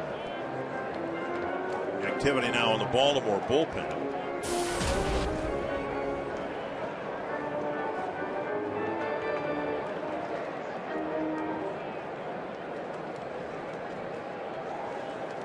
For the Orioles, it's TJ McFarland warming up. Swinging a foul. One and one. Orioles have three left-handed relievers. Hammel, take a look right there at uh, T.J. McFarland warming up. Hammel's shortest outing, five innings, two starts ago in Seattle. He ended up picking up the win, but he threw 102 pitches in the five innings. One and one to Plouffe. Two and one. Really fun to watch this baseball team and this lineup right now because they're more patient at the plate. They're getting good pitches to hit and they're creaming them. That's a pitch, that 1 1 pitch, Plouffe might have offered at a couple of weeks ago. And now a drive to the left field corner. McLouth won't get it. It one hops the fence. Rounding third, Willingham comes in. It's an RBI double for Trevor Plouffe. That might have been set up by taking the 1 1 pitch rather than swinging at it and grounding into a double play. Yeah, that's that patience you were talking about. And then the breaking ball looked like Hammel left it up right there. Plouffe gave it a ride into that left field uh, area for a double. An RBI double is 12th, 12th RBI of the year.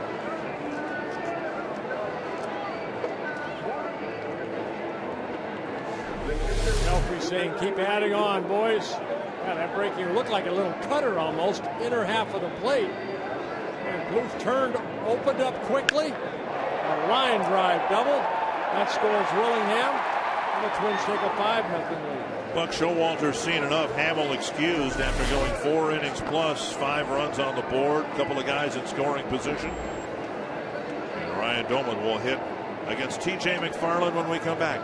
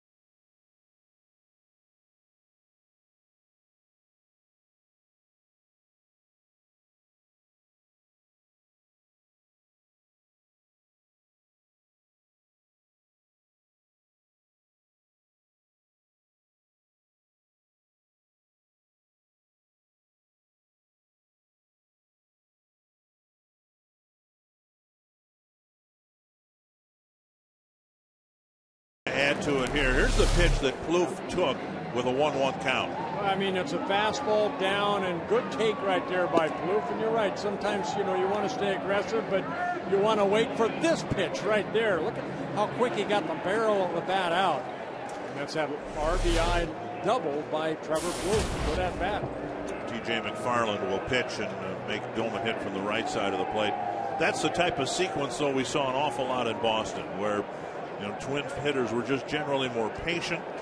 And if, if a pitch wasn't exactly what they wanted, because everybody else in the lineup was hitting doubles, you didn't feel like you needed to hit a double, and then you ended up hitting a double anyway. It's just relaxing yep. and, and, not depending on yourself. Have other guys pick you up too.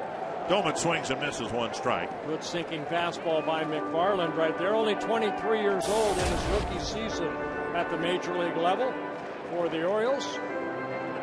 Here's a Rule 5 pickup by the Orioles over the winter from the Indian organization. Popped up right field, short right field. Morneau setting up for a tag. And a good bluff, forcing a throw, one away. Let's check in with Jamie Hirsch. Well, thank you, Dick. As Oswaldo Arcia steps up to the plate here, three things you need to know about this guy. He's the first player to hit a triple and a home run on his birthday since Nyjer Morgan did it with the Brewers back in 2011. Now, he's also earned a new nickname, the Pony, or Caballito in Spanish. They tell me it's because power hitters like Mauer or Morneau are often called horses, and Arcia is a young horse. Third thing, his walk-up music is new today. It's his favorite song, Limbo by Daddy Yankee. There you go, guys. You learn something new every day. All right. Thank you, Jamie. See what Pony can do right here. A dribbler.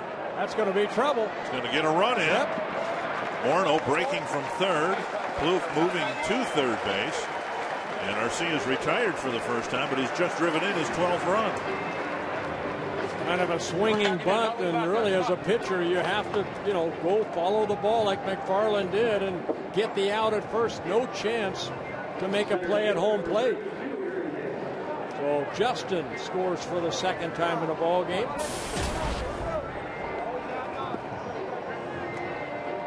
And it's a 6 0 Twins lead. Here's Aaron Hicks. Blue for third, two away. Twins didn't score in the fourth, but they've come back with at least a deuce here in the fifth. Ball one.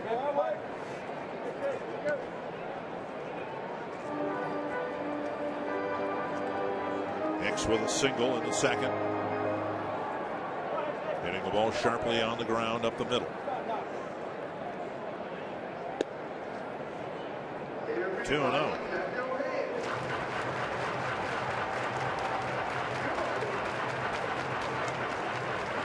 Twins fans have responded to the good play on the road. We got a nice crowd here tonight. Expect another nice crowd tomorrow. Mother's Day should be a nice crowd here Sunday yes. afternoon. On the ground is short. Hardy has it. And that ends the inning. But hit batter and a walk set up a two-run fifth.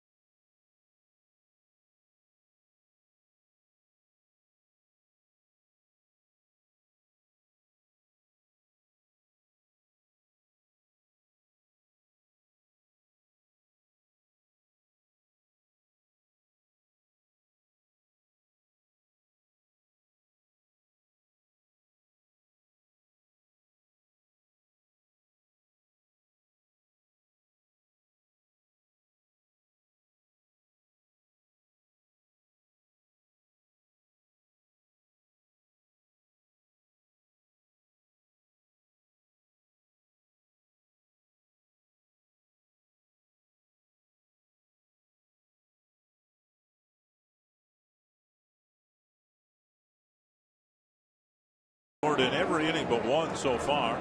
Freeze Cam brought to you by Frost Brewed Coors Light. Uh, this is Adam Jones right here getting jammed. Oh, End up getting a base hit when the barrel of the bat went into short left field. Look at that ball hitting foul territory and then rolled into fair territory. Found the grass and stayed on that grass. That's called getting in the kitchen. Nick Markakis. In the refrigerator. Deep will face Mike Pelfrey. Pelfrey's had a hard time delivering first pitch strikes at his 77th pitch of the night, but now he's got a 6 0 lead.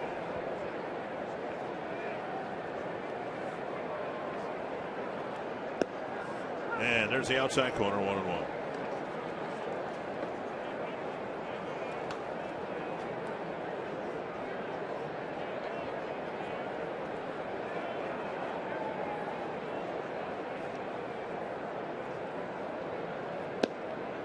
Another called strike. Good fastball down and away there after that big slow curveball. This will be pitch number 80 for Mike Pelfrey.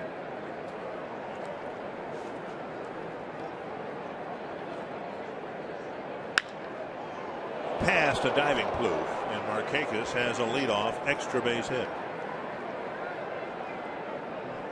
Markakis is aboard with a, an opening double here in the sixth. Good piece of hitting right there by Markakis. He's such a good hitter, career 300 hitter. That ball got deep into the strike zone. And then at the last second, watch this fastball right here. Just kind of takes that fastball down that third baseline. Plouffe playing off the line. And the ball hits just past his glove into the corner. Adam Jones will hit a fly ball to center and a single for the cleanup hitter for the Orioles.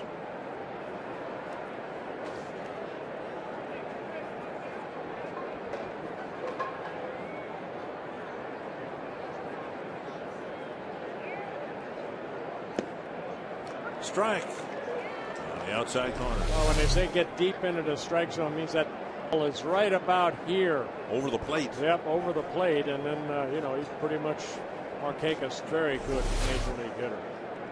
You see Joe Mauer do that a lot. Mm-hmm. Hit the ball when it's right over the plate. Missing inside, one and one.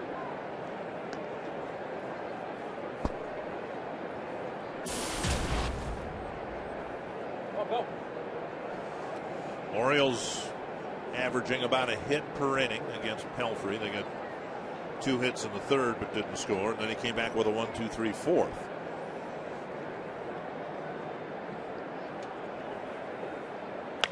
Chopper left side, and again, no place for Markakis to go. Another leadoff double. It's the third time already where the Orioles have had a man at second, nobody out, and have failed to advance that runner to third. Right, right. Minnesota Wild now head into a busy offseason after last night's loss. Read Brian Hall's season analysis and look ahead to next year at FoxSportsNorth.com. I guarantee you, the Orioles, who have 21 wins, 14 losses coming into this ball game, they have not done that too often like they're doing tonight. Usually, a good ball club like the Orioles, you know, Buck Showalter, good manager, you want to do little things to help your club get back into a ball game, and the Orioles have not been very successful, like you mentioned, Dick, getting that leadoff guy at second base over the third. Davis started the second inning with a double, and then Pelfrey went to work. He got Wieters, Hardy, and Dickerson, and Davis never left second base.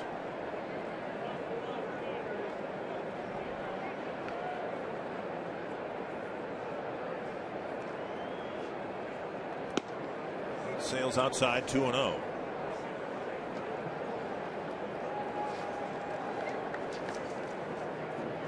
Pelfrey's longest outing, his last, when he went six innings. He has picked up three wins with starts of five and a third innings, five innings, and then the six inning win against Cleveland.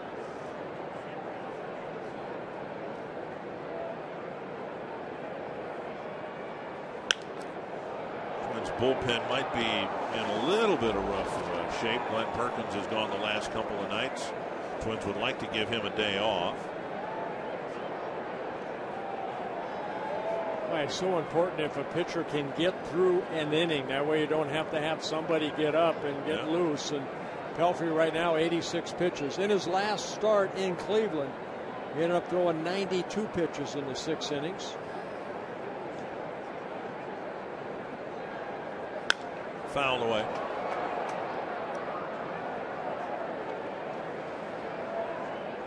Remember years ago when the Twins had uh, Carlos Silva, Rick Reed, Radke, that bunch. They had to have led the league in fewest inherited runners because it seemed like a lot of those guys, it was six or seven complete innings, and then you turned it over to the bullpen.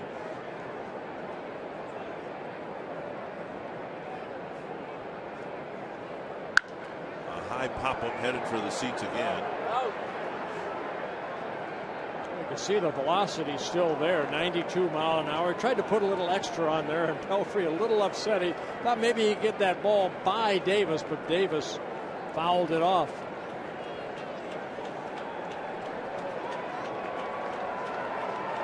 Pelfrey with one strikeout in the ball game, one walk, allowed six hits, a couple extra base hits. Two and two to Davis. And off speed pitch misses.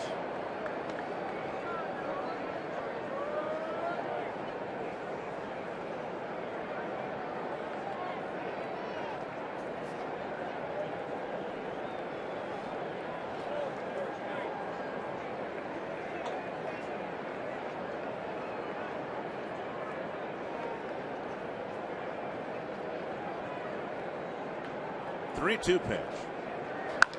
High fly to right. Arcia back.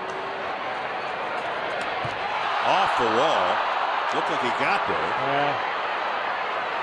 And a run will score with Davis checking in at second base.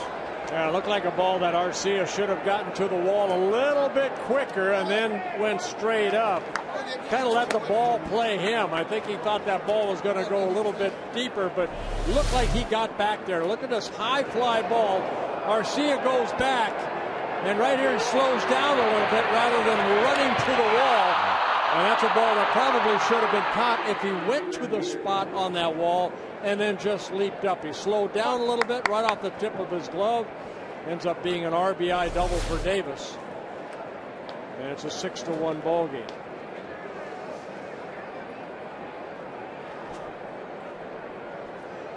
Here's Matt Wieters, a liner to left and a fly ball to center. So the Orioles move Markakis from second base, bring him in. Here's a ball fouled back, but they needed some help to do it.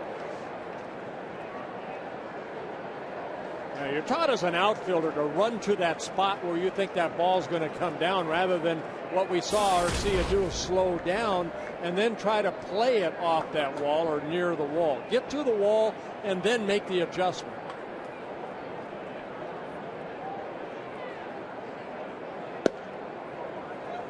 Saw Aaron Hicks do something similar in left center field. He took off for the ball. It was a catchable ball and then leaped for it a step or two before he really needed to in front of the wall. Oh, it's not that easy. I mean, we you know we can show it back on replay and it looks like you know, hey, he should have been there, but it's tough when you're out there running back. You're you're bouncing around and you're trying to find out exactly where that wall is. Willingham with a catch firing to second base. Just barely getting back is Davis.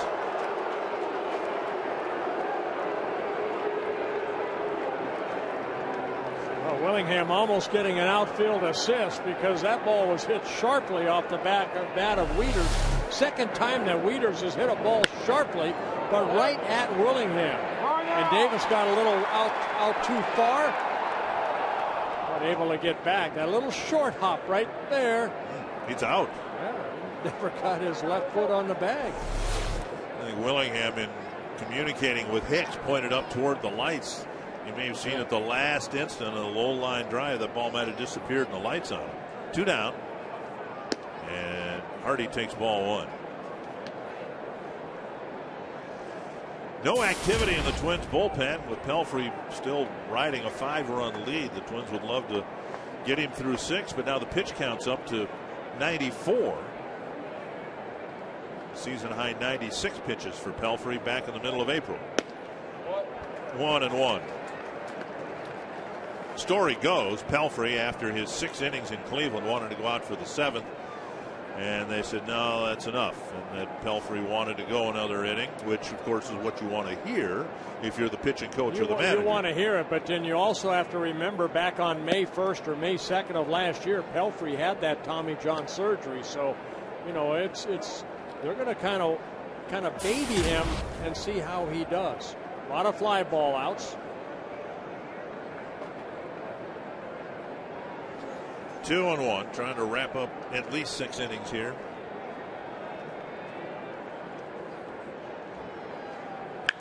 Drilled to left center. Willingham won't get it. It's another extra base hit. And Hardy cracking a double to the gap at six to two. Yeah, third double of this inning. Markakis led off with a double down the left field line. Davis, that one that probably should have been caught, an RBI double.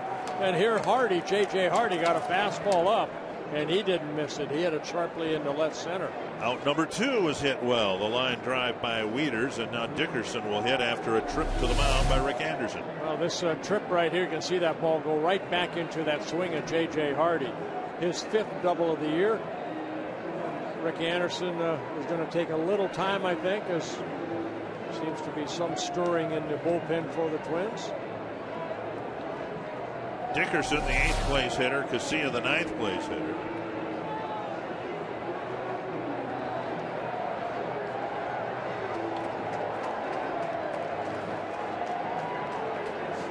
Yankees have opened up a five run lead over the Royals. It's 10 5 in Kansas City, but still in the sixth inning there. I saw what Rick Anderson did right there. He made uh, Bruce Dreckman come out and gives uh, Josh Roenicke, who's up right now, you know, time to get up, make some throws in case he's needed. Dickerson with a pop to short and a ground ball to Morneau.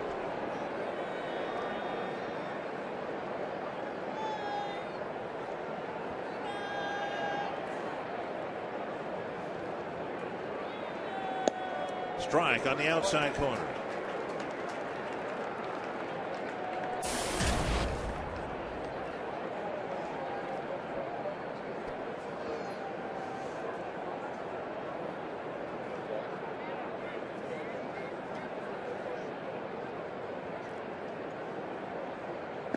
And now one and one. Season high 99 pitches for Pelfrey. He was moving along through five just fine and some very well hit balls here in the sixth inning. Well, again, too many pitches in a short amount of time. Swing and a miss. One of the few swings and misses we've seen. One and two. Uh, 24 pitches so far here in the sixth inning, 23 in the first. Other than that, the fourth and fifth, I thought, okay, he's back into a good groove. 21 pitches for those six outs. But here in the sixth, too many pitches.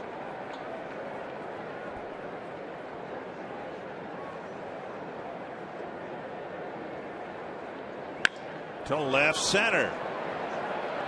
And that one will settle into the gap for another extra base hit. Fourth extra base hit of the inning, and it's six to three. Pelfrey unable to perhaps finish six innings when he was so close to doing it, but the Orioles doing to the Twins what the Twins did to the Red Sox. They're doubling them to death. Yeah, four doubles this inning. Three runs scored by the Orioles for Dickerson, his second double of the year, driving in his third run. Sutton three spot, and now Casilla's got a couple of hits. Came into the game just one for nine as a left-handed batter. He's got two hits, although the last one was just a little roller up the third baseline. A little swinging bunt. Tries to bunt. Not a bad decision right there by Casilla because Trevor Plouffe was playing way back. And he saw that. And if I could lay that ball down on the grass right there, I'm going to get an infield base hit. That brings Plouffe in a little bit. Now even with the bag. One strike to Casilla.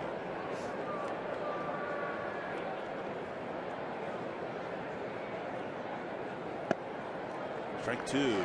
There was some thought that Casilla, even in tonight's game, might scrap switch hitting and give up hitting from the left side entirely, but he's got a couple of hits now. He's always uh, the twin staff considered to be a much better right-handed batter than left. Well, seven seasons with the Twins, he hit 250 as a switch hitter. Two strikes. Better as a right-handed hitter. On the ground, Escobar puts an end to it. Three runs for the Orioles and a 6-3 score after five and a half.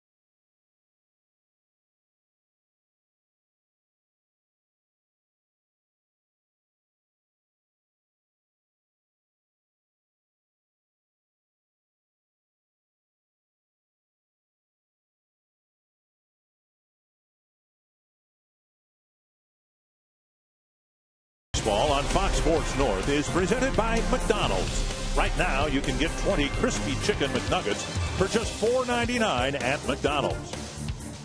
And by Toyota. Let's go places. To find the nearest Toyota dealer and check out our current offers, visit buyatoyota.com. Orioles cut the Twins lead in half. Tomorrow, Sprint Cup Series racing returns to Fox and goes back under the lights. As Daytona 500 champion and points leader Jimmie Johnson will look to defend his title and claim his fourth career victory at the Darlington Raceway. Fox Sports exclusive coverage of Sprint Cup Series racing begins tomorrow at 5 p.m. Central. One strike to Escobar, who struck out twice tonight against Jason Hammel. Now a tapper to short. Hardy has an easy play. One down. Jon Lester pitched a one-hit shutout for the Red Sox tonight. They beat Toronto five to nothing. And the Toronto Blue Jays are now 13 and 24. Who would have thought, huh? Coming into the uh, season, everybody expecting the Toronto Blue Jays to be that team to beat in the Eastern Division. And a lot of teams are beating them. Yes.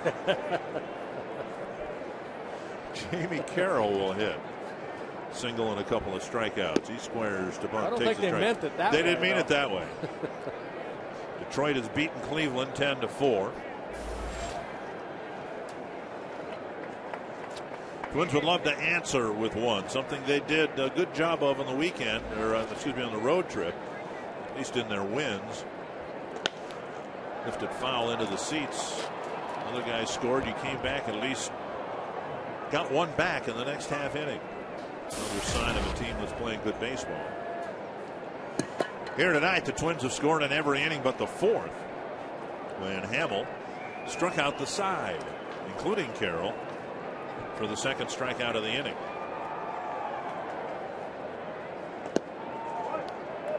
One and two.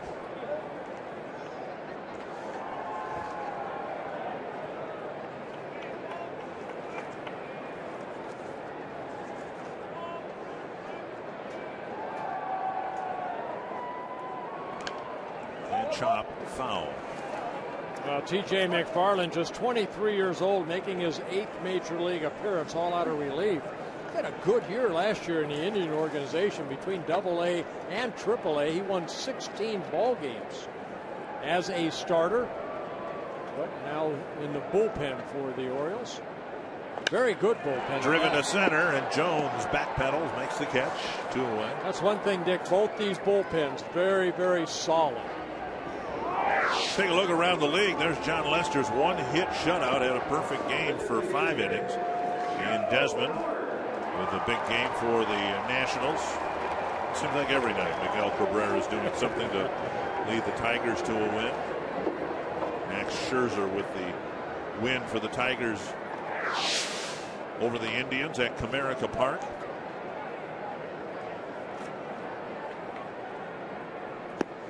Mauer takes a ball. Uh, Cabrera came into today's play hitting at 382, and also that's leading the American League in hitting, and also uh, driving in 37 runs, which is the most in the American League. Looking at maybe for another triple crown.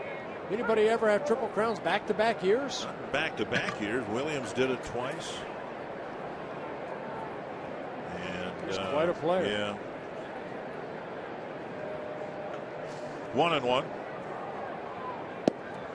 Two and one. Mauer with a double, a single, and a strikeout. McFarland has come in and retired all five batters he's been asked to get so far. Three ground balls and a couple of fly balls. This one hit to left center. It's got some carry. Jones and McLouth chase it.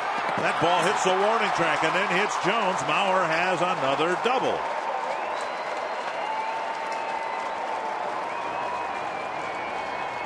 A three hit night for Joe Mauer, now with 13 doubles on the year.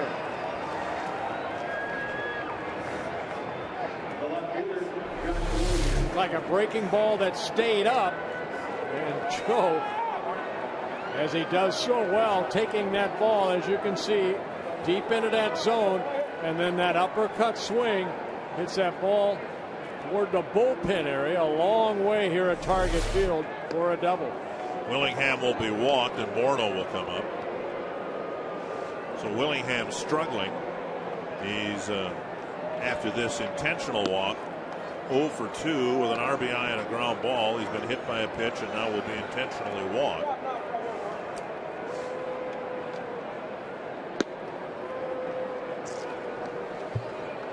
And as Morneau's batting average has climbed from the 230s through the 250s and now into the 270s, he has been much more competitive against left-handed pitching. Coming into the game hitting at 250 against lefties. Now he's not hit a home run against a lefty. But as he's come back from his assorted injuries, it's been the one part of his game that has kind of lagged behind his MVP caliber seasons. And we'll see how he fares here with the Twins mounting a threat with two gone in the sixth. Fastball and a strike taken.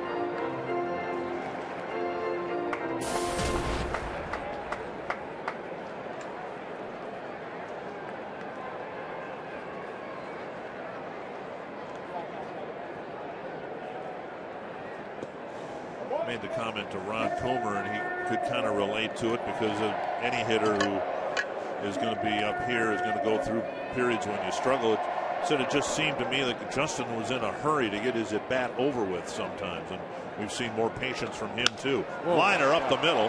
Hardy playing him well, and Morneau hits it hard for the third out. They couldn't have hit it any harder right there. 6-3 Twins as we go to the seventh.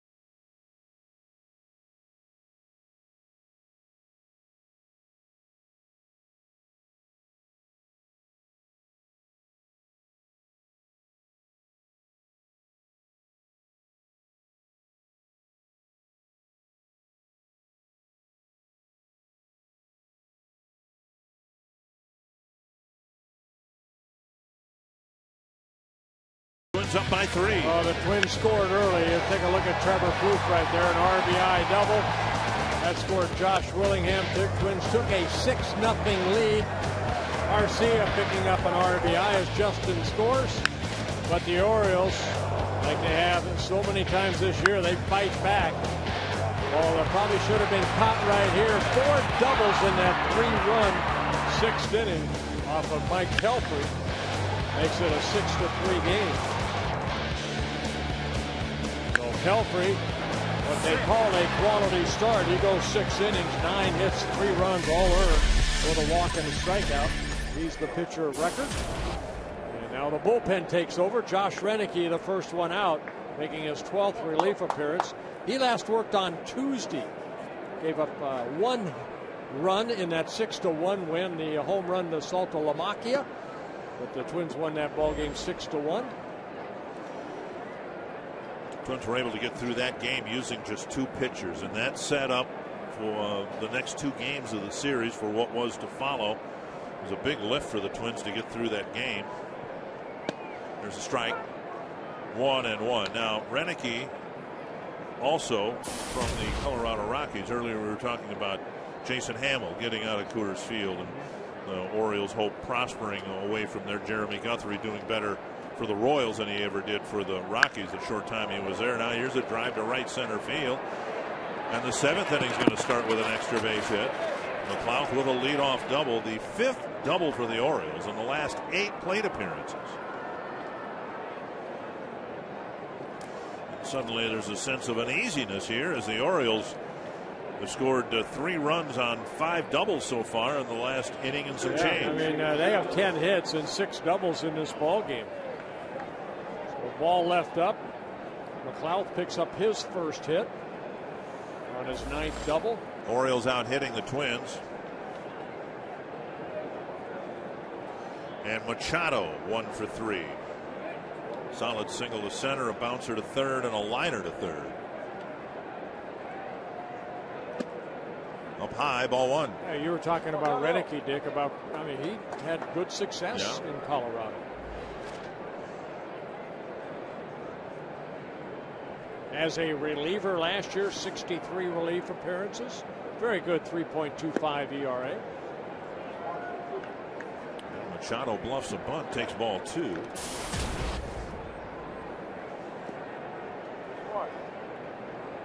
Roenicke pitching toward the middle of this Baltimore batting order here. Machado, then Markakis, Jones, Davis.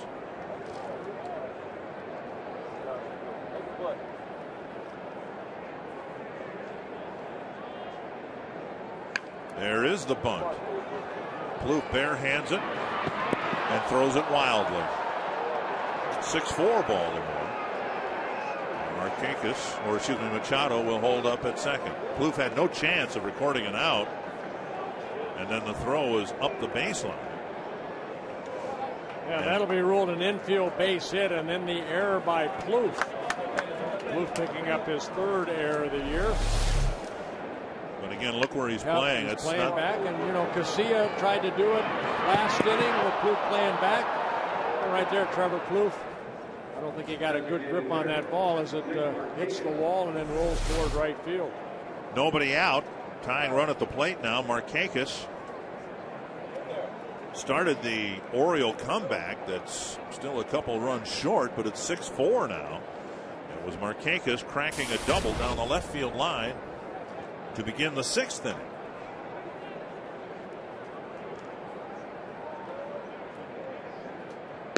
Up high, ball one. Well,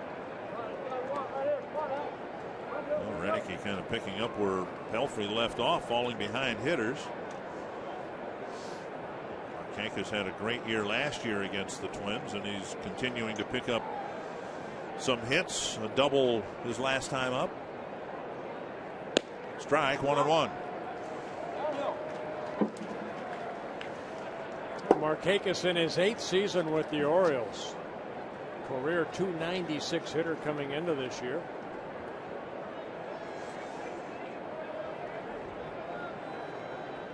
Had some injuries last year. They this is one guy they need to keep healthy. Two and one. Roenicke's been very good, especially against left-handed batters, holding him to a sub 200 batting average coming into play today. McLouth, a lefty, started the inning with a double, and now Markakis with a 2-1 count.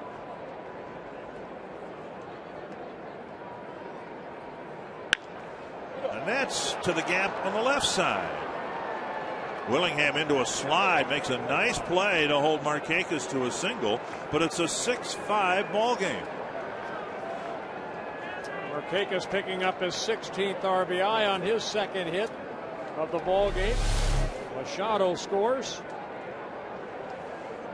The Orioles waking up. They got to town about the same time the Twins did. In the neighborhood 2 3 in the morning. Nothing through five innings, but now they, I mean, that pitch by Roenicke looked like it was down and away. I'm not sure if it's a bad pitch. Yeah, Casey Fien getting up. Great play by Willingham right there with that slide and keeping Markakis at first base. Still double play in order. Twins need an out. Adam Jones, the batter. Oh, foul. Oh, boy, just barely foul. That ball got down in a hurry. Didn't even have much time to hook. That change up left up right there, and Jones gave it a ride down that left field line. Roenicke making his second appearance this year against the Orioles. He picked up his only win on the year against the Orioles. Rick Anderson, the pitching coach, out to talk to uh, Josh. But he pitched three innings of shutout baseball against the Orioles in Baltimore. Twins won that game six to five. A lot was made of that. Of course, Josh's dad, Gary, Played most of his career with the Baltimore Orioles. Josh spent some time early in his life in Baltimore. Yeah, he was he was uh, born in Baltimore actually. That's as early as you can get. Yeah. Four doubles in the sixth, and now three hits and a Twins error in the seventh. Still nobody out, and it's a one-run game. Orioles had a lot of games like this last year, coming from behind late in ball games. That's what I was talking about earlier. Games with five or more runs. 21 times now the Orioles have been able to put five or more runs up on the board.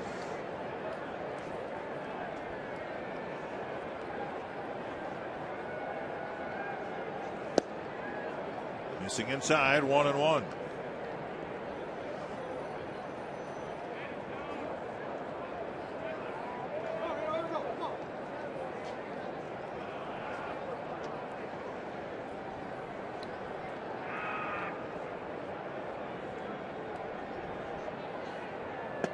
Breaking ball called a strike.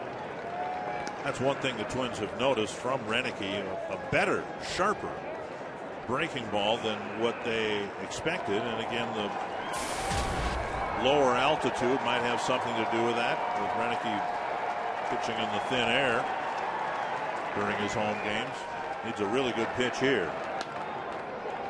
Dumped foul down That's, the right field line. That was a pretty good pitch right there that Jones just fouled off. A good sinker down and in.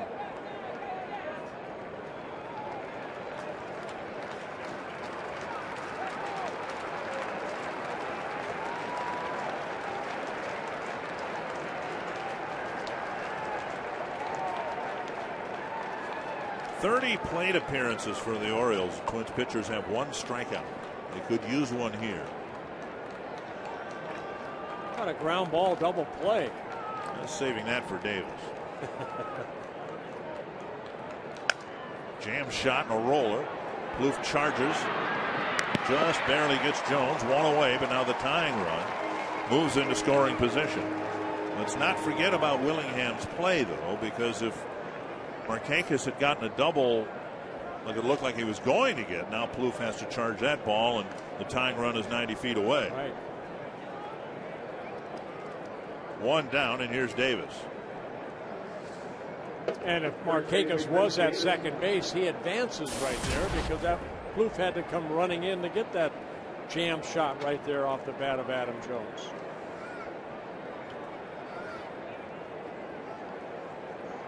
Davis with a pair of doubles.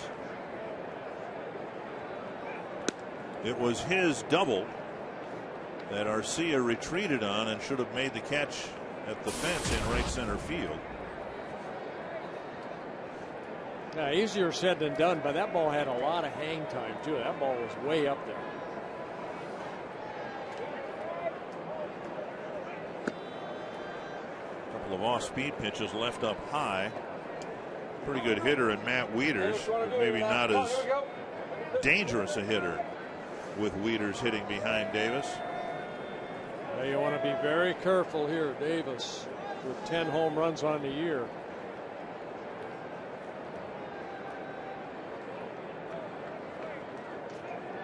There's a breaking pitch over. So a lot of off speed stuff here to Davis. He took two for balls and now takes one for a strike.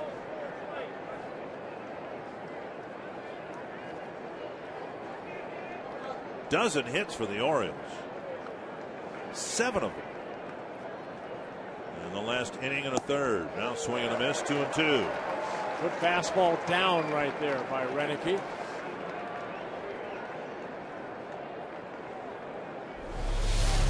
Straight over the top.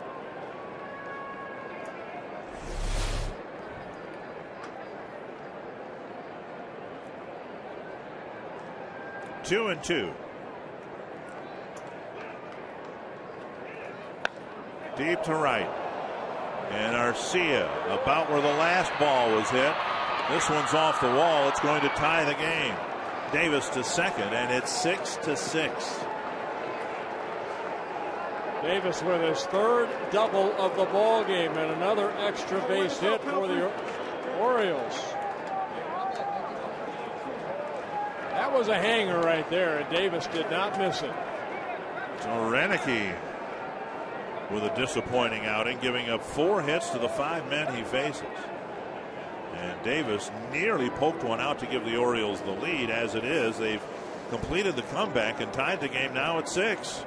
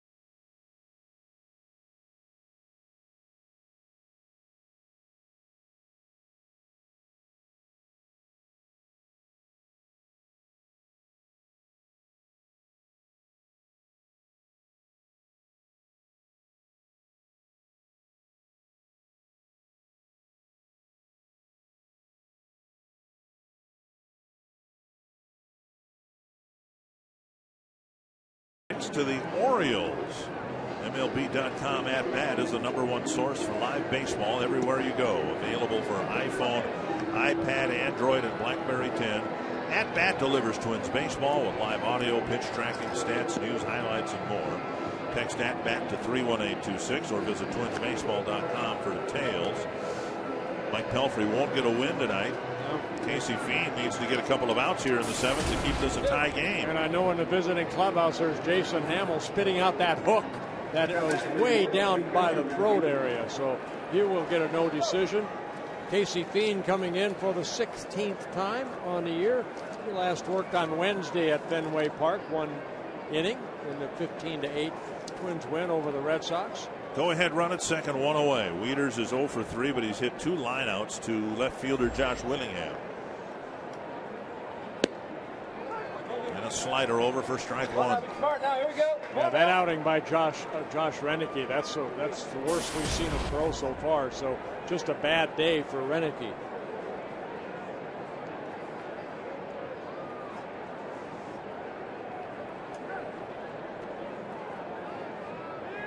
Both these I mentioned earlier, both these teams have very good bullpens. Twins came in with a 2.63 ERA. Only the Indians had a lower combined earned run average, and the Orioles are just behind the Twins with a 2.8 earned run average as a bullpen. And it all happened in a hurry here. Eight of the last 11 Baltimore plate appearances have resulted in hits. Tommy Hunter warming up for the Orioles. One and one to Matt Wieters. And behind him, J.J. Hardy.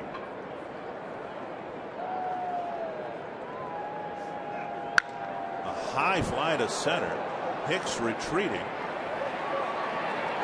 Making the catch.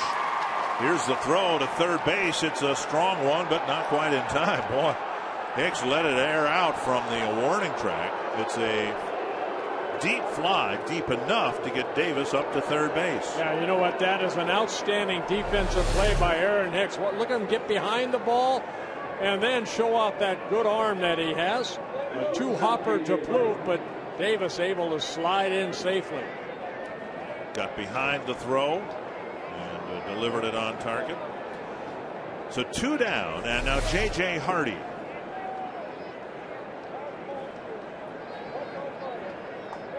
Go ahead run at third with two away.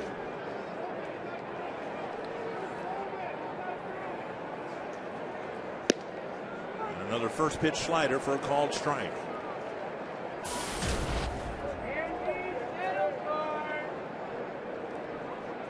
One for three tonight.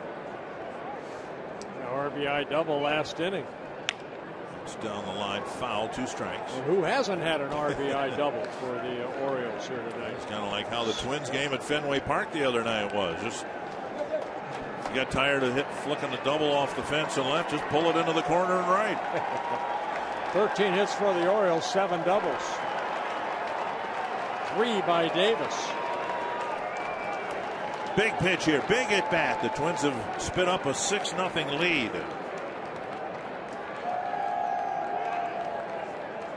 Chopper to short. Escobar ends the inning. Three in the sixth for Baltimore, and three more in the seventh.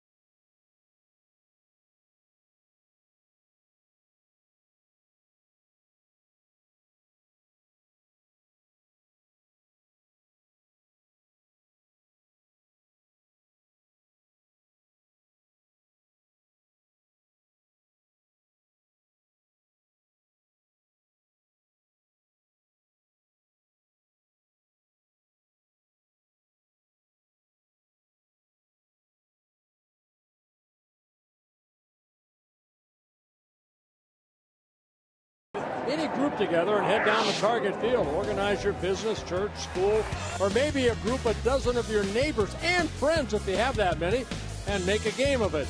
Visit twinsbaseball.groups or call 833 Twins and get a great deal of group tickets today.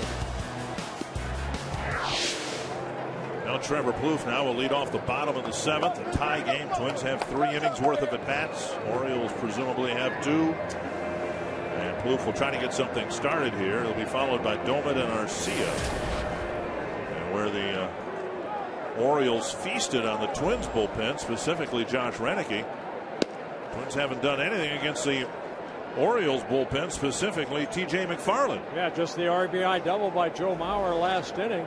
Other than that, McFarland starting his third inning. And Plouffe bunts in front of Machado and will get a bunt single. You know what? It's almost like here, you take that. You guys are butting in front of uh, me all night long. I'll do it to you. Plouffe gets an infield single on the butt, picks up his second hit. Well, he popped it up, but the ball settled and never did come up out of the grass. And you can see Machado playing as deep as third base as Plouffe was on Machado. That ball had a lot of spin on it right here, too. As that hits that grass, it just spun away from Machado. He had no play. So now Doumit. We've uh, talked over the last week or so about the Twins' resiliency, and we'll see uh, how they respond to giving up a six run lead here. That kicks away from Wieters, and Plouffe will go to second. So just like that, the Twins get the go ahead run into scoring position, and we'll see whether Doumit tries to do anything differently now with uh, a runner at second, nobody out. Yeah, wild pitch right there, charged to McFarland. McFarland. That's his first wild pitch of the year. 1 0 to Doumit.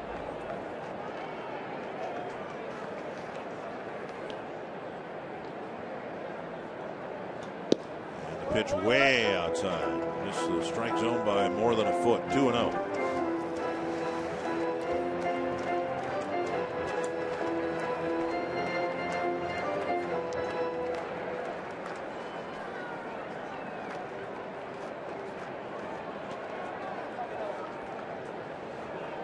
Orioles last year surprised just about everybody in baseball by contending all year and ended up going to the postseason. They shaved nearly a full run off the team ERA in one year. That's almost unheard of. And it's not the perfect stat to, you know, tell you how a team's pitching staff is doing, but when you take a a whole runoff, 0.99 off your team ERA, that tells you why they emerged as a contender last year. They pitched a lot better. 2 0. And now 3 0 with Arcia on deck. Well, you don't win as many one run ball games like the Orioles did if your staff right. doesn't keep they don't keep you in the game. Twins came into the ball game with a team ERA of 4.03, which is the league average. Doumit takes a strike three and one. Well, that's one thing you couldn't say over the last couple of years. oh. No, no, no.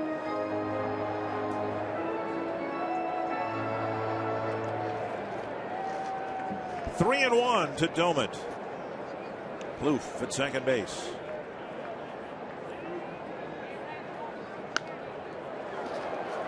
Three and two. It looked like that swing right there. Doumit's still trying to hit that ball to right field. Now it's a little harder with two strikes.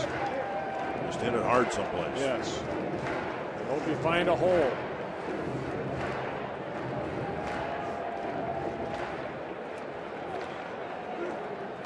Roma right on top of that plate as a right-handed hitter game is tied, but again, there are a couple of times early in the game when the Orioles did not get the job done in situations like this. We'll see if Doumit can get it done, and, and beyond that, whether that might be the difference in this game here tonight. Pounded foul, waited as long as he could for that 82 mile per hour pitch. Looked like a little sinker down and away.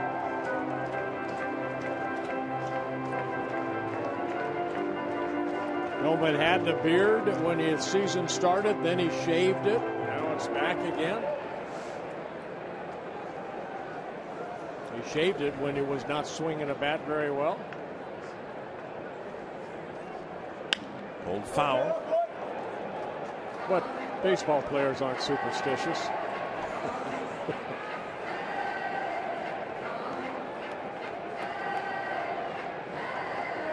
Nine game homestand, three with the Orioles, three with the White Sox, and three with the Red Sox.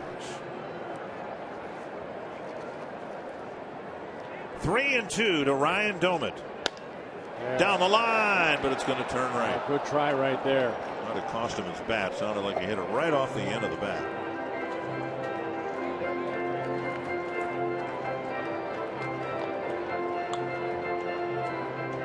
I guess the bat's okay. Arcia, the on deck hitter.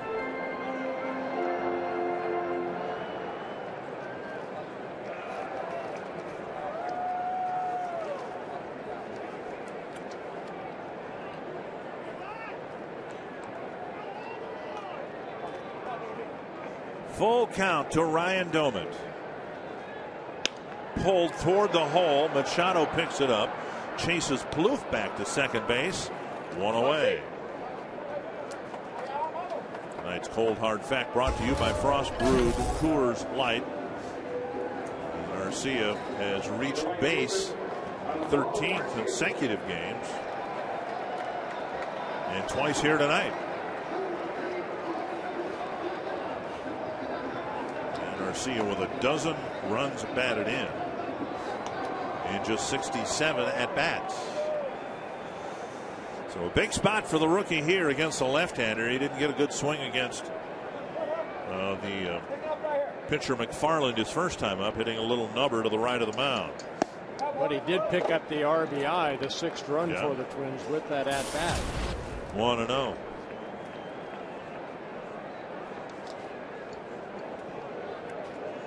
Arcia six hits, 16 at bats against lefties, a double.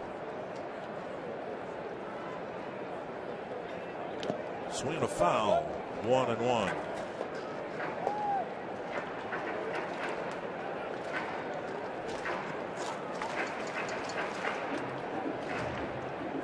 brought to the big leagues as a run producer, and he has done that. Hit for average, hit for power. One and one. Swing and a foul again, one and two. Arcia last year, the minor league player of the year in the Twins organization. He won the uh, Sherry Robertson Award. Between single A and double A, hit 320, 17 home runs, drove in 98 runs.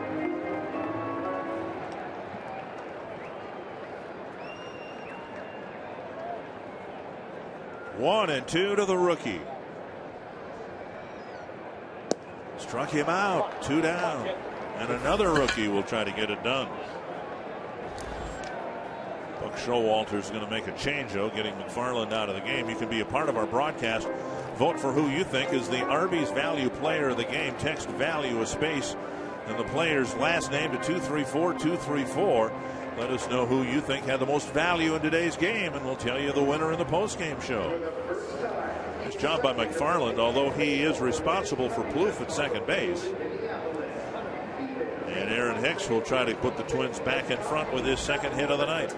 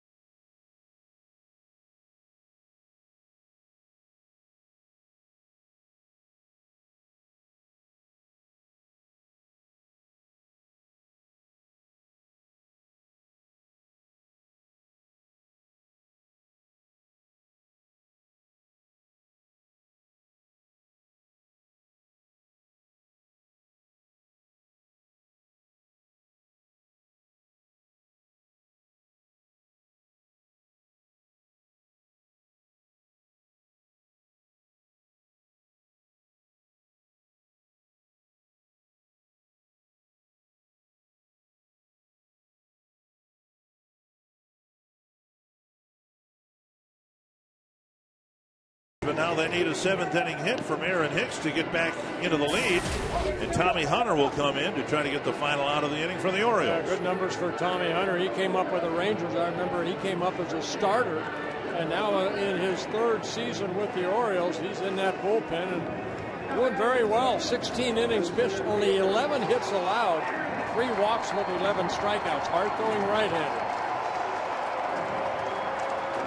Hicks marginally better from the right side of the plate than the left. Obviously not very good from either side of the plate. He's picked up a single, then a fly ball to left and a ground ball to short.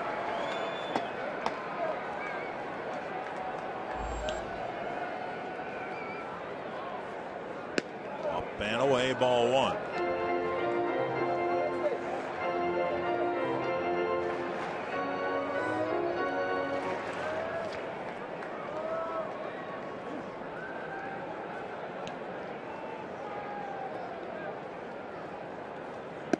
Inside, up around the hands, and it's 2 0. Saw the curveball, saw the slider from Hunter, along with that fastball in the low 90s. Hunter, 26 years old, already his seventh Major League season. Twins had a threat going in the sixth, couldn't get a big two out hit. Now another threat here in the seventh. 3 0. Escobar would bat next. Fastball missing at 94.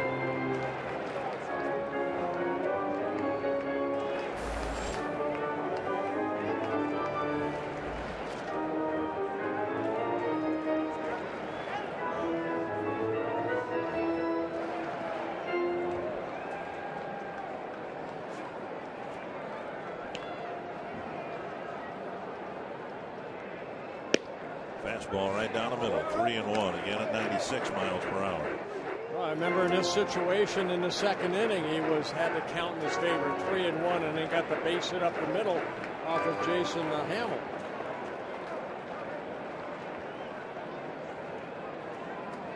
Three and one to Aaron Hicks. Fouled back. Good swing right there. Just got underneath that high fastball. 95 miles per hour, right over the middle of the plate.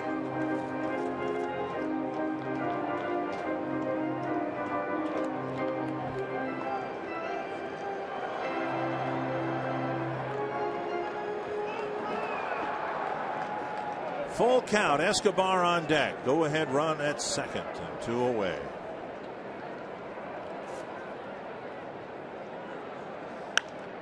Lifted foul. It will reach the seats and the bat still alive.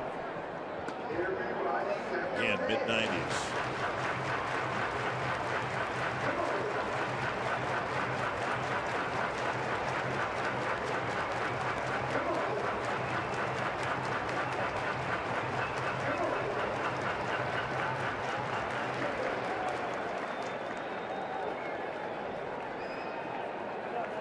Coming right at Hicks with fastballs. Another 3 2 pitch. Breaking ball struck him out. So the Twins get a bunt single Lee Plouffe at second on to the eighth. Tied at six.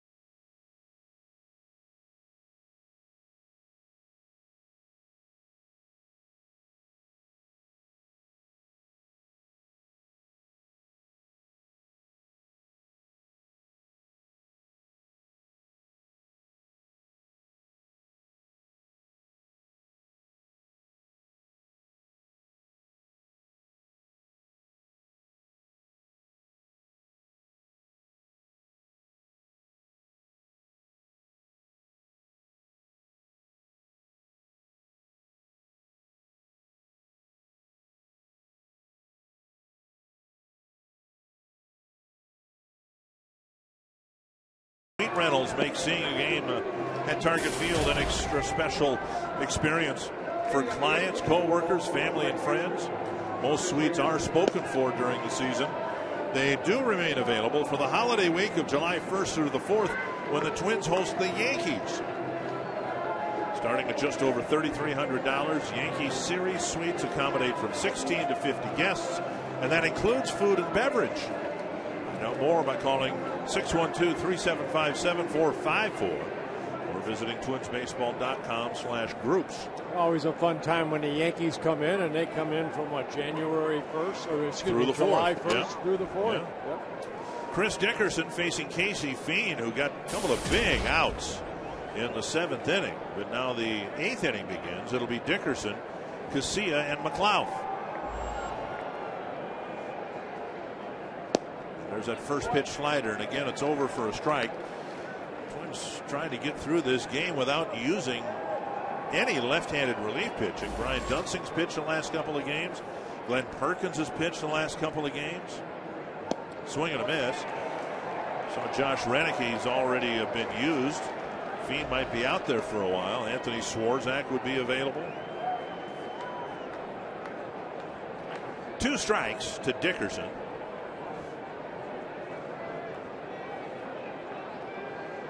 Yeah, you have Ryan Pressly out there, but remember he won. He pitched four innings. Yeah. got his first major league win on Wednesday night in that 15 to 8 game through 66 pitches. So I'd have to say he's probably unavailable tonight. You know, the uh, standard usually for long relief is three innings, and then the Twins like to give the guy at least two days off after that. And with that extra inning of work, you can imagine they'd rarely rather not use Pressly at all. Right. Down and in, one and two.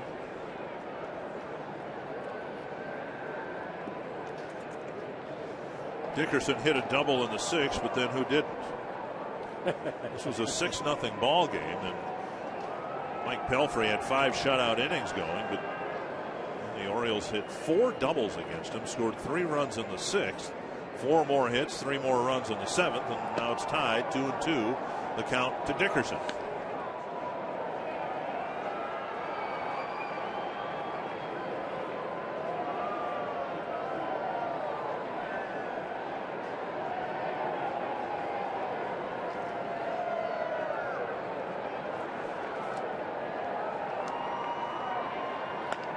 Tapper to Plouffe. Charging again, firing on the run. Just barely got him. A very close play. What is that, the fourth or fifth time in this ball game that Trevor Plouffe had to come in and try to field the ball on the run and then make a throw. He picked up an error last inning. But here, the throw right on the mark. A bang bang play. Dickerson hustling down that line. Safe. Wow. Twins get a break. One down in the eighth. Here's Alexi Casilla.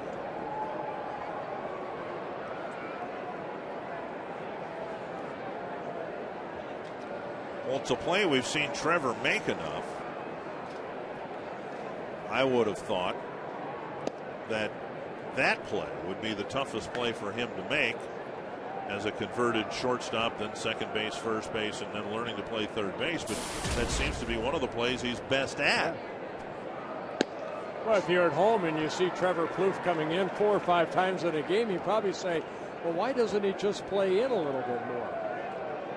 Maybe some guys in the dugout wondering that too sometimes. well, here he's in on the grass because who's up? You know, some of these are swinging bunts, and it's hard. Right. You know, you cut down your range if you're basically where Trevor Plouffe is playing. He would like to be behind the bag to give him more range left and right on a ground ball. Late innings tie game. You don't want to give up a double down the line. Right. Three and one now to Casilla. Fien certainly doesn't want to walk Casilla. McLouth on deck.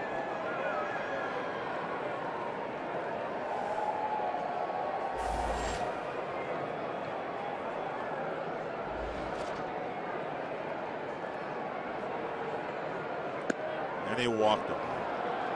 So Casilla and his base stealing ability is at first with one out, and McLouth the batter.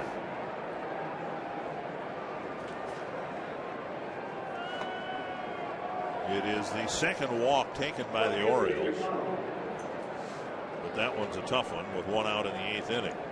And that's one thing the Twins staff has done a great job of not allowing a lot of base on balls.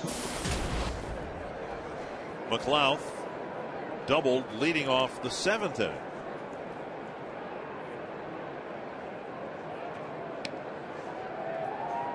Twins are playing their 32nd game, and that walk right there, only the 76th walk by the pitching staff.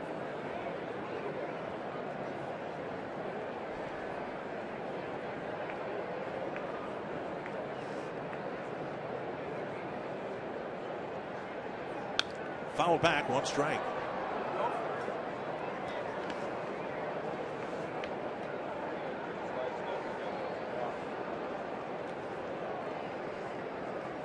Wayne Kirby at first base, the first base coach, helping Casilla read the signs. It's Anthony Swarzak warming up.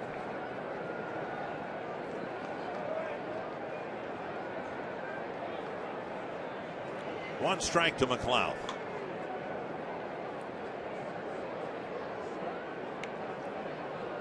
You know, Casilla was given every opportunity many times to win a regular job with the Twins and it just didn't happen. There were shortcomings to be sure, but the one thing we never saw him do is get picked off very often or be the least bit timid about trying to steal a base. He was a pretty aggressive and very successful base stealer.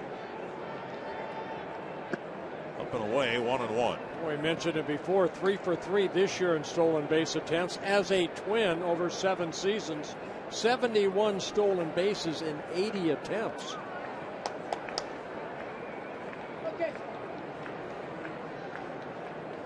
One and one to McLouth. Outs have been hard to come by the last few innings. Probably too much to ask to have two outs on one pitch. Ooh, that one darted on Doumit. Inside, two and one.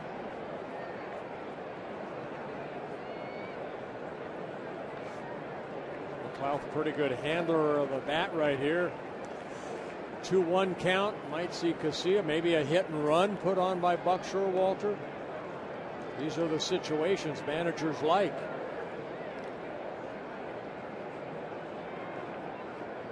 Long hold by Fien and a look over.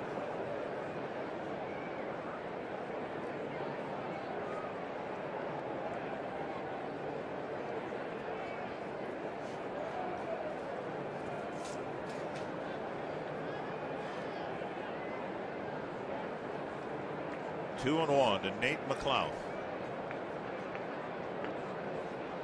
See stays put and Fien bends a breaking pitch over that outside corner.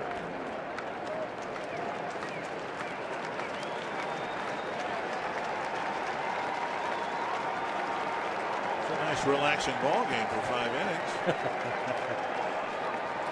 no tension here at Target Field.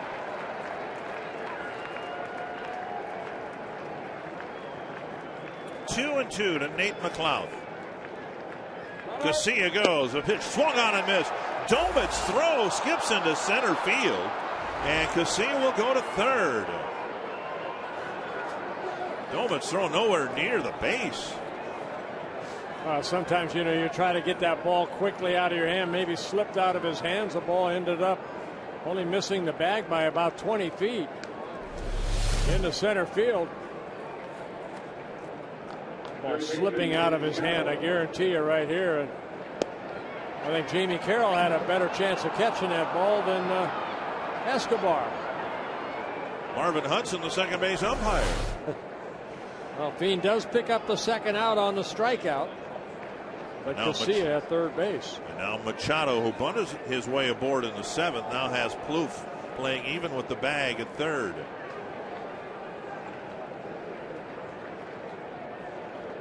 Machado takes strike one.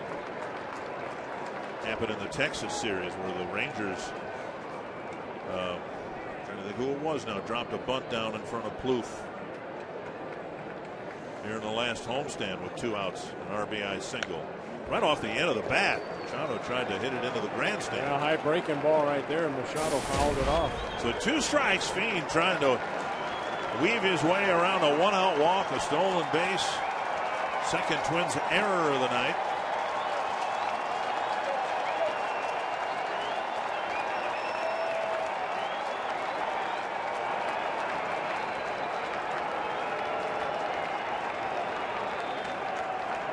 Two strikes to Machado. Struck him out.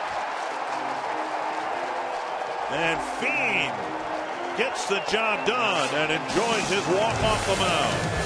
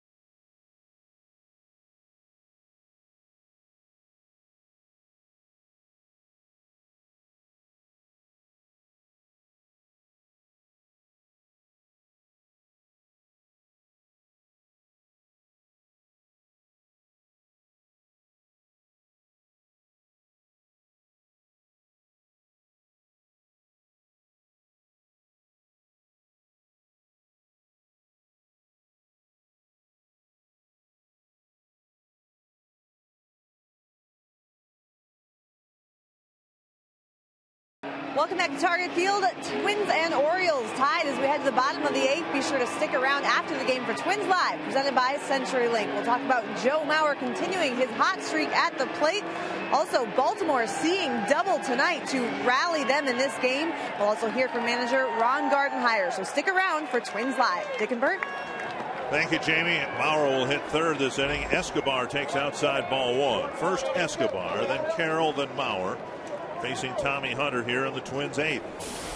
Escobar hitless, two strikeouts and a ground ball to short. And we've seen a lot more of that from Escobar. The swings and misses. Went down swinging twice earlier tonight. One and one. Swinging a foul. One and two. Ball down there. Come on, mama. Hunter made 20 starts last year for the Orioles. and He ended up winning seven ball games, lost eight. But in September, he had a very good month of September when they put him in the bullpen. He went 3 and 0, had a great ERA. And I think one reason why this year he's found himself in that bullpen. Kind of a long man, got a great arm, very resilient. Had some success as a starter, won 13 ball games with the Rangers back in 2010. But the Orioles see him as in this position right here, kind of a seventh, eighth inning type guy. One of 19 different players to win a game for the Orioles. 18 of them were pitchers. Chris Davis got a win, pitching in a marathon extra inning game. Some sliced foul, two and two. First three weeks of the season, Escobar was the Twins' best hitter. He didn't get a chance to play much. Remember what at one point, I think he was uh, 13 for 26 or something like that, hitting 500. This one driven to left. And McLouth back a couple of steps, makes the catch one away. That'll bring up Jamie Carroll. Jared Burton getting loose.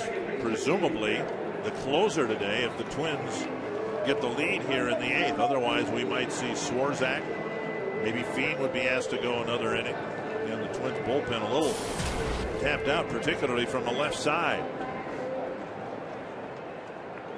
Carroll single to start the game, scored in the first inning. Fouled away one strike.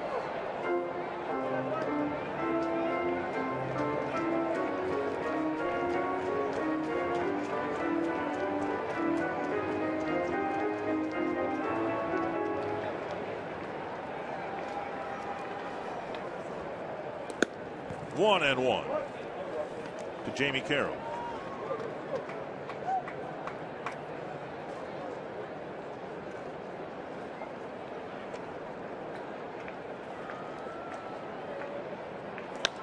Chopper to short. Hardy has to hurry. Gets Carroll by a step, two down. CenturyLink to what's next. Joe Mauer already has three hits tonight. He'll look for a fourth. Yeah, Joe Mauer in the first inning, a double that got over the head of Dickerson in right field, and then a big two-run single that put the Twins up 3 nothing in the second inning. And then in the sixth inning, oh yeah, another double for Joe Mauer.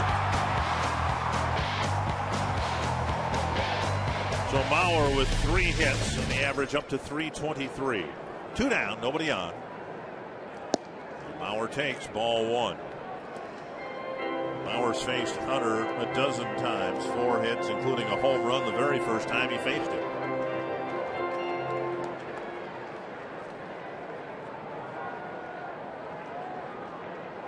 A high fly to center field. Jones going back. And about 395 feet from home plate, the third out to the ninth in a tie game.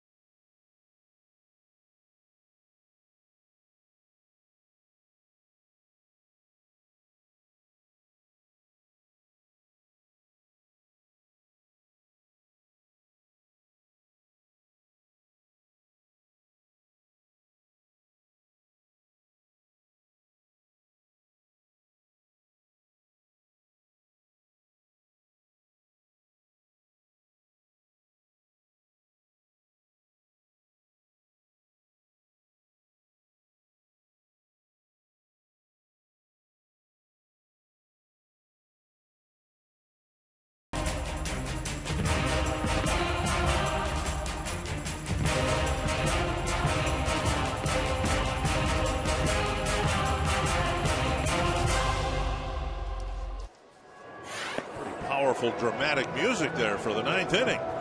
6 6 our score, and Jared Burton, who uh, comes into the ball game here in a tie game, but for the Twins are the home team. This is a role that, or an inning that we might have seen Glen Perkins pitch in. I guess it's uh, speculation, but it might be that Burton is the Twins closer tonight. The Twins are just using him in the ninth in a tie game. Remember, Burton worked in last night's ball game, one shutout inning in that five to three win over the Red Sox, but he did throw 25 pitches in that one inning. Well, this is something that you wouldn't have seen from Burton last year at this time because he is still recovering from that shoulder surgery. But uh, here he is, back-to-back days, especially throwing 25 pitches. Just the second time this year that's happened. It happened uh, in Chicago back in April. It's uh, we got a little rain shower hitting us here. Here's Markakis, then Jones and Davis, the three, four, and five batters for Baltimore, and Burton starts him with a strike. We saw in the eighth inning Anthony Swarzak warming up. And then he was shut down. Burton instead getting the ninth. If we go beyond this, we might see Swarzak again. But right. there's a swing and a miss and a weak one, 0 2. Well, that's that changeup right there that Burton has great movement on. Looks like a fastball, great arm motion. And that, you saw the sink right there on that last pitch.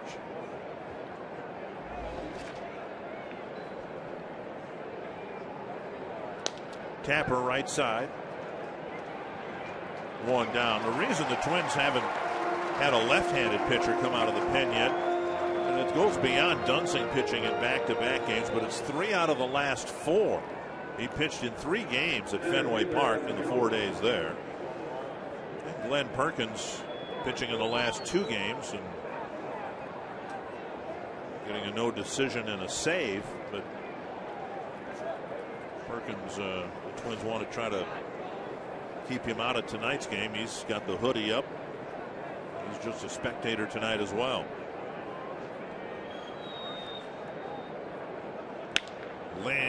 Line drive, base hit left field. Jones with a single with one out in the ninth inning. Yeah, Jones picking up his second hit, jumped on that first pitch from Burton and lined it into left field. So a one out single, and that brings up Davis, who has hit three doubles tonight. The last two have been almost carbon copies of one another. That's dating myself. There's a more contemporary term for that. What would it be? Deja vu. Yeah. No. How about the same hanging breaking ball? That'd work. That's, that's kind of what led to them. Yep. One strike. They both were hit to the same spot in the ballpark. One probably should have been caught by Arcia. Burton trying to get this game to the bottom of the ninth tied.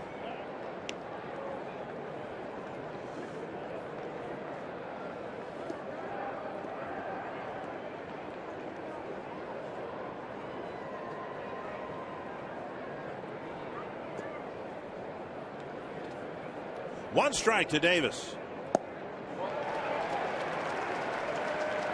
And Davis swinging like he's never seen that changeup before. And it is his first plate appearance against Burton. That's a nasty pitch.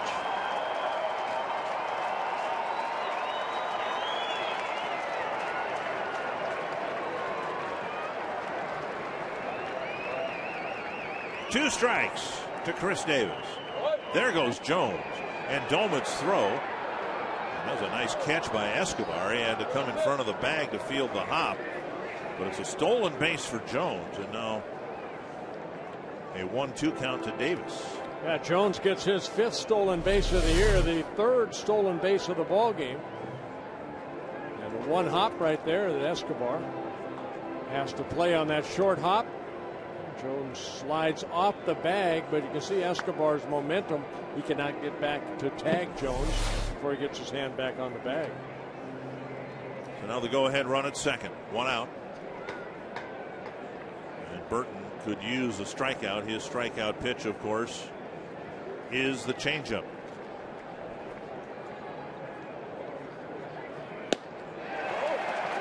And there's a strikeout. Put it in an awfully tough spot Yes, to it hit. My goodness. That's Two a down. pitcher's pitch right there. Davis, of course, wants to open up and drive that ball out of the ballpark. And Burton picking up a big strikeout. Do a little pitch by pitch right here. I mean, that's there's that changeup right there, and another good changeup. See if you can tell me if there's a fastball in this situation here, the stolen base, and then the other good changeup, great location, down in the strike zone. Wieters will be intentionally walked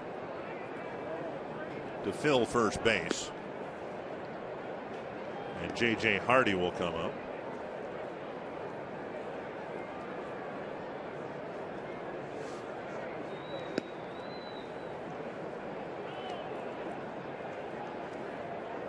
Yankees have beaten the Royals 11 to 6. Detroit beat Cleveland 10 to 4. Right now, the Angels leading the White Sox 7 5. Twins had a 6 0 lead in this game, but then a three run sixth was backed up by a three run seventh. A lot of runners in scoring position for both clubs. And that's the case facing J.J. Hardy here. Came up in the sixth inning in a spot like this, delivered a double.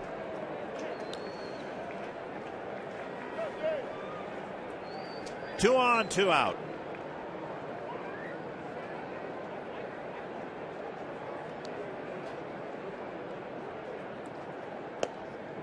Just off the outside corner, ball one.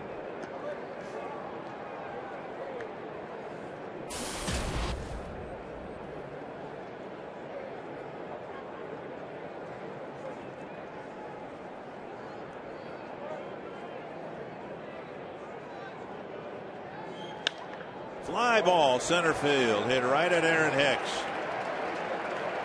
Good inning for Burton. The Orioles strand two. The Twins will set their three, four, and five batters up at the bottom of the inning.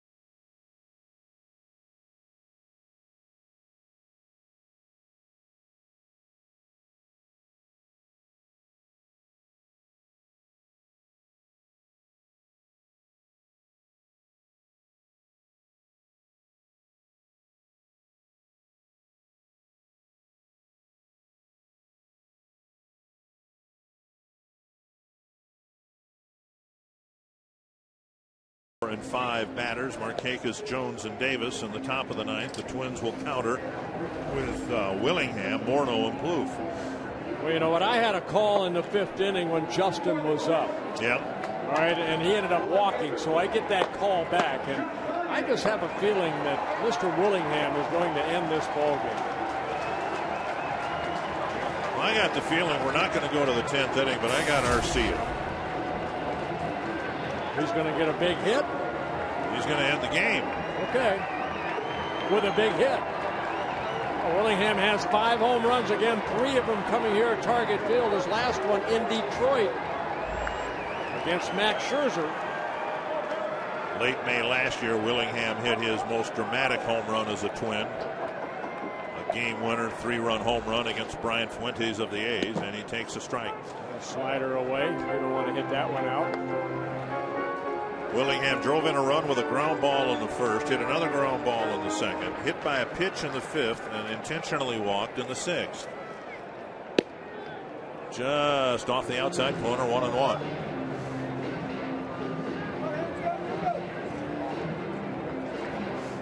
And Hunter has allowed three home runs this year. Two and one.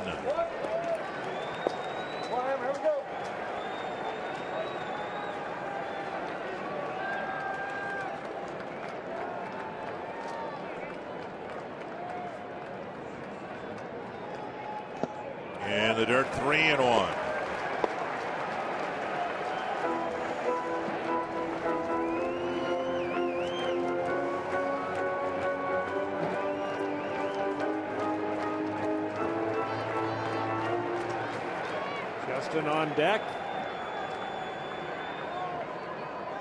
Checked his swing. It's three and two. Hunter with a big issue with home runs last year. You mentioned won seven ball games, 133 innings, but 32 home runs mm. on a home run every four innings. Should have let him pitch about 280 innings. He would have passed me. Full count to Willingham. Sliced foul. Fastball at 95.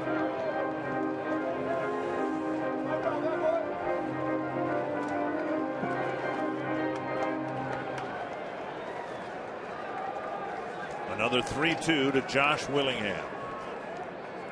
Struck him out. Yeah, big swing right there, but Hunter picks up his second strikeout in relief. Now to give you an updated look at our AT&T Twitter poll series, we're asking you what's your favorite fish name in baseball. Catfish Hunter, Mike Trout, marginally ahead of Hunter. Kevin Bass. What about Randy Bass? Tell you what, there's some great names right there. Tim great Salmon. pitching names. Here's Morneau. Just outside, ball one. We'll continue throughout this series on fishing opener weekend. That's the theme of the weekend.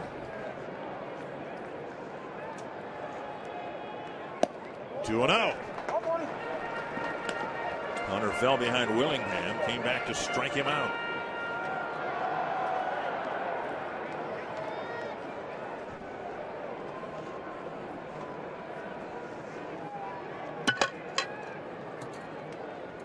Three and oh to Morneau with Plouffe on deck. No activity in the Oriole bullpen. Swarzak, as predicted, warming up in the Twins bullpen. 3 and 0. A high pop up, of course, green lighted, and this hit a mile in the air. Two down. If he'd hit it out as far as he did up, we'd be walking home. Two down.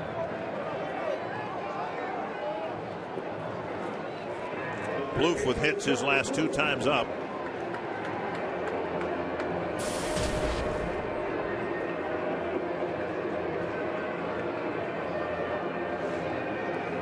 Four home runs on the year for Plouffe.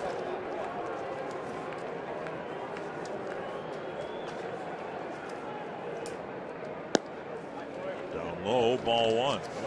Yeah, he had two of those uh, home runs in Cleveland. His last home run here came against the Angels in the middle of April. 1 and 0. 2 and 0. Mel Hunter tempting fate here. He fell behind Willingham, came back to strike him out, and survived a 3 0 pitch to Morneau, getting him to pop up to first. Now 2 0 to Plouffe. Breaking pitch, taken for a. Strike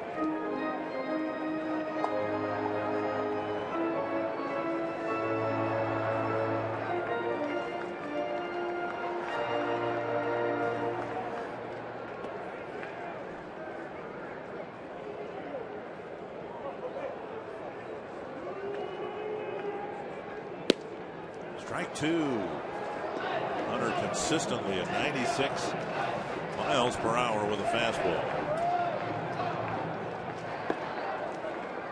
Two and two to the Twins' third baseman. Driven to the right field corner, but foul.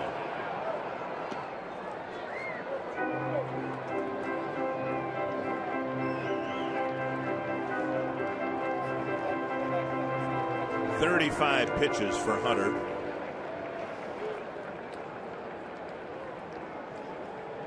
Another 2 2. High fastball got him. And Hunter cuts through the three, four, and five batters for the Twins, sending us to the 10th.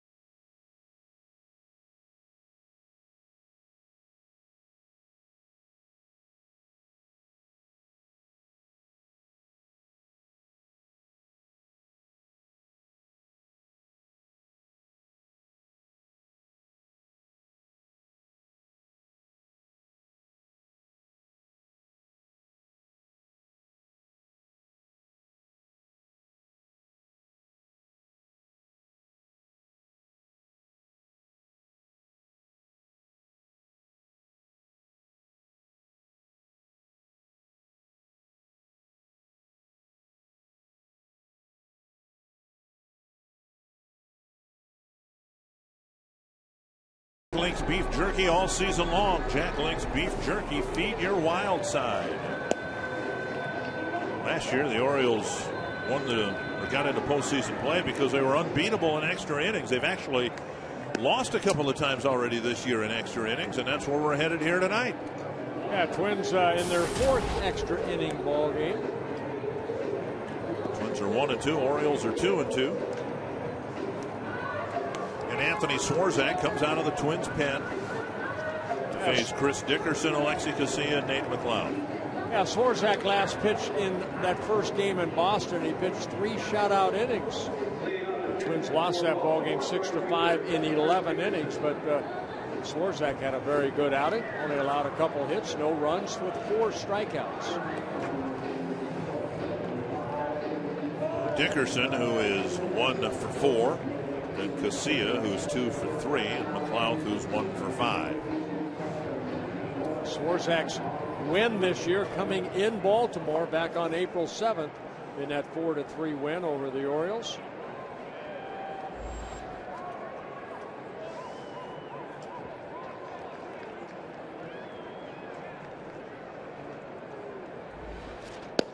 Fastball at the knees, strike one.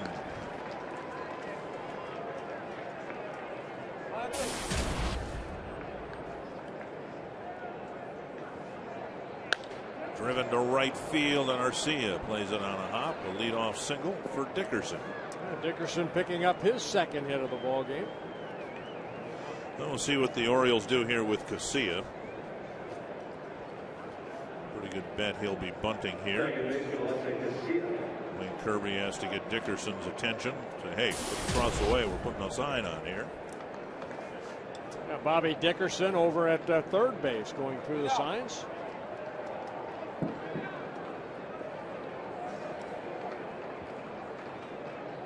Casilla with a couple of singles and a walk, two stolen bases. He's looking for the bunt. And a throw over to see if Casilla maybe shows bunt. And he did. But I think we're all expecting it anyway, right?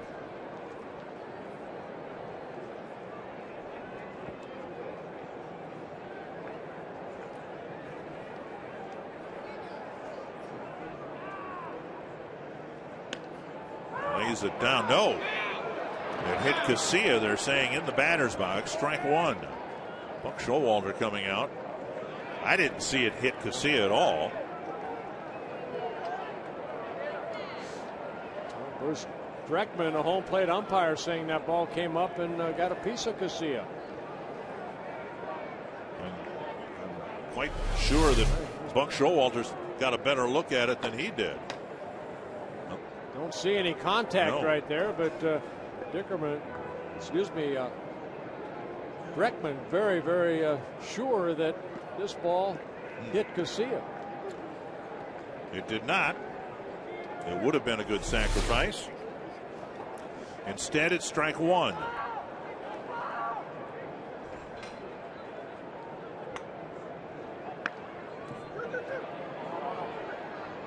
Low throw, and Carroll has to dig out a sinker. Carroll with a nice pickup. They got the out. And on the play, Dickerson, Chris Dickerson, goes to second base. Sacrifice by Casilla. He does his job, gets Dickerson into scoring position. Boy, nice, uh, nice pickup Wow. by Jamie Carroll. Swarzak throwing a little sinker over there for the first out.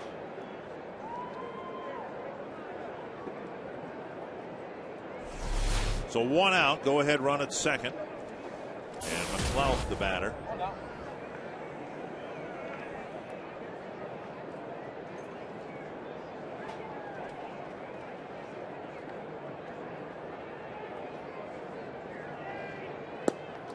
Down and away, ball one.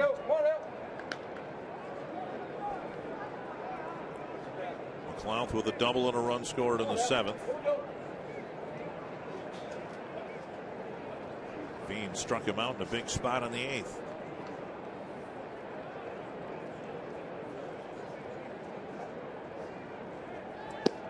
At the knees, one and one. Yeah, McLouth came up to the majors with the Pittsburgh Pirates back in 2005. Also spent time with the Braves.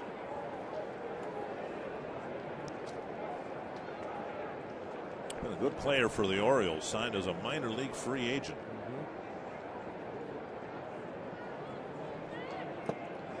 Missing the inside corner, two and one. Good years with the Pirates. Made the All Star team for the Pirates back in 2008. Base stealer with some power.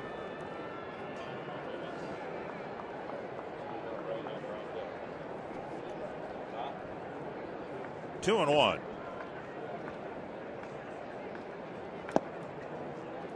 Three and one with Machado on deck. Smart now, come on, dude. You smart. Here we go.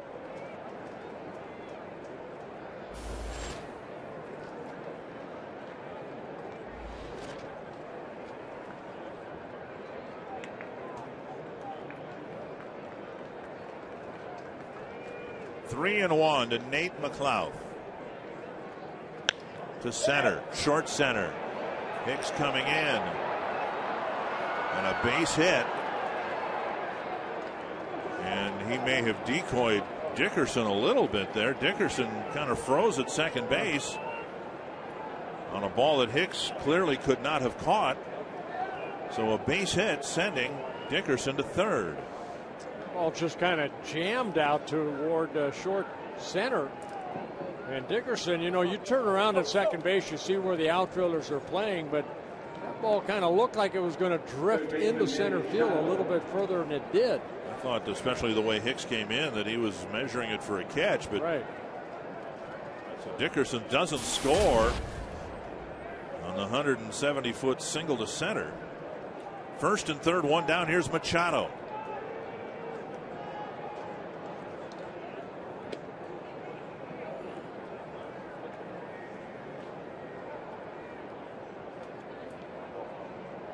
Machado with a pair of singles. Only hit the ball on the ground once. Twins are hoping to get a double play here and get off the field. Fien was able to strike him out in the eighth inning, his last at bat. 1 and oh. 0.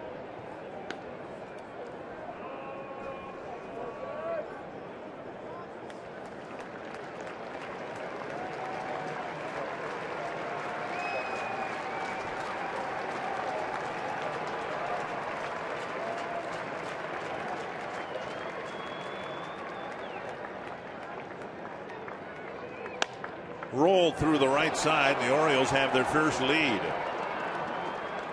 So Machado hits the ground ball, but he pushed it through the right side, and the Orioles have come back from 6 0 to now take a 7 6 lead. Yeah, inside out swing right there. Machado picks up his third hit of the ball game.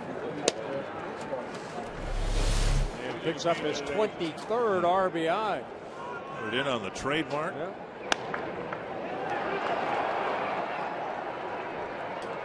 So 7 6 Baltimore. That'll get Jim Johnson warming up for the Orioles. Markakis has reached three times, a couple of hits and a walk.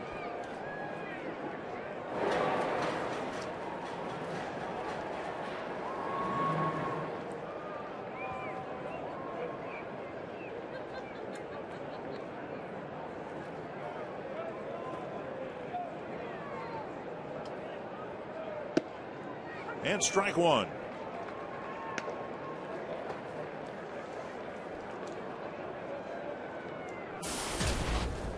Wins at one time after five innings, had a 6 nothing lead. Orioles tied it up by the seventh inning. Now they've taken a one run lead here in the 10th. One and one. Popped up to left field. Willingham with McLouth running well, setting up for a tag. There's Willingham's throw to the plate, not in time. A sacrifice fly, and on the play, Machado goes to second base. So a two-run Oriole lead now in the 10th inning. Markakis picking up his second RBI of the ball game. And with McLouth and his speed, you know, Willingham okay arm, but uh, McLouth scores a second run.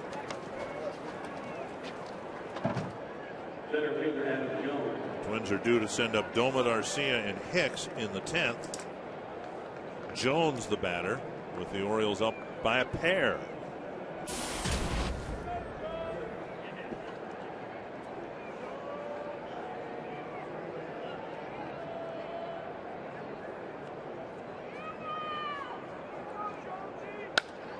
Fouled away, one strike.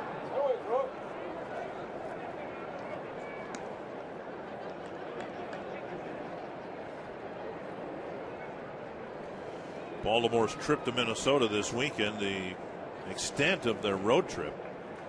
They played Kansas City three times in Baltimore, and then after this game, they head home for another week and a half.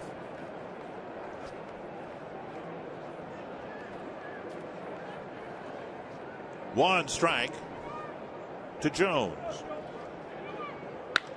To left center field, and another Oriole run. Jones held to a single with a good retrieve by Hicks. With three runs in the 10th. The third three run inning for the Orioles tonight. Yeah, Jones picking up his third hit, driving in his 24th run. Breaking ball left up. Jones hit it in that gap as Machado scoring the third run.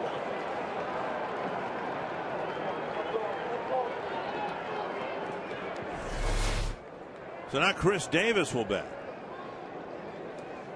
Twins bullpen, uh, one of the main reasons the Twins won the last three games at Fenway Park. Uh, Josh Roenicke gave up three runs in the seventh. Anthony Swarzak's given up at least three here in the tenth.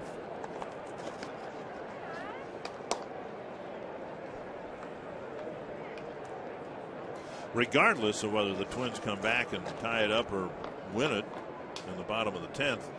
We're going to need some innings from Vance Worley tomorrow mm-hmm. and Scott Diamond on Sunday. Roller to short. And Escobar ends the inning. But another three run inning for the Orioles. And it's 9 to 6.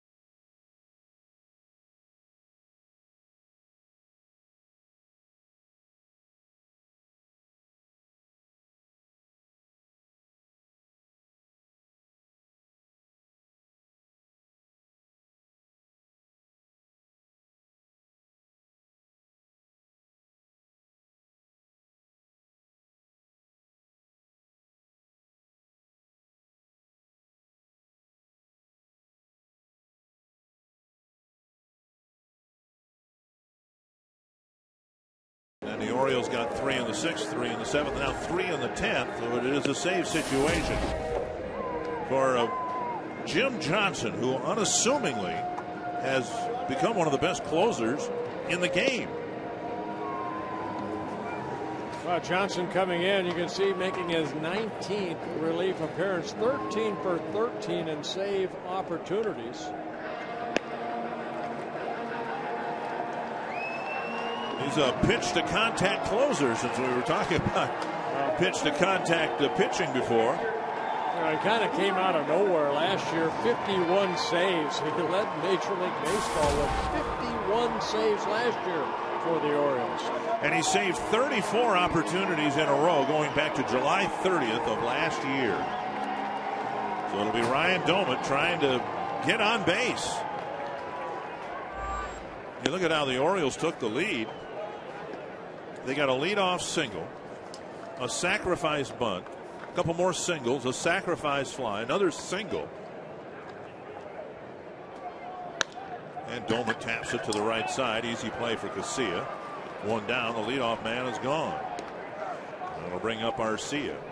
You know, you get three runs in an extra inning game. You figure, well, if not a home run, there's got to be an extra base hit in there someplace. But the Orioles just, you know, pinged the ball around, got some singles, and two of the three outs were sacrifice outs. Arcia with a pair of singles and an RBI ground ball.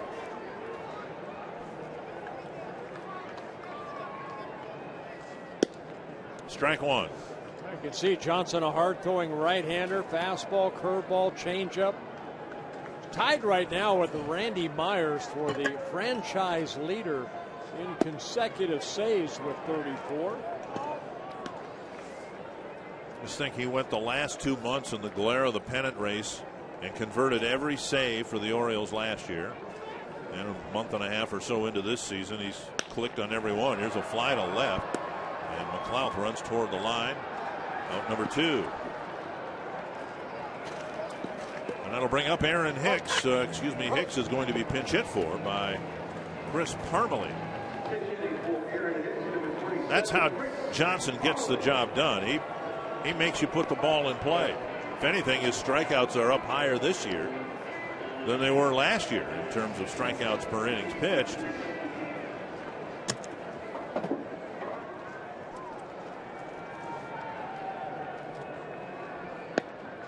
And strike one to Parmelee. You see, no fooling around, you know, just strike one, get ahead. There it is, hit it. And more often than not, they hit it into the ground. And Parmelee gets a pinch hit off the bench. And that'll bring up Wilkin Ramirez. Well, that at bat very important for Parmelee right there. He's been working a lot with Tom Brunansky on just kind of shortening his swing a little bit. He hadn't played in two or three days. Arcia getting more of the playing time and Parmelee getting an opportunity to get at that at bat. Takes that fastball and hits it sharply into left field. Shortening his swing and yet quickening it up. They, they thought that the pitches were eating him up. He wasn't uh, making contact out front enough. So here's Wilkin Ramirez, and there's strike one. Trying to keep the game alive for Jamie Carroll. Which don't have a lot of pop on the bench, but they're using what they have here. Ramirez fouls it off a leg. Two strikes.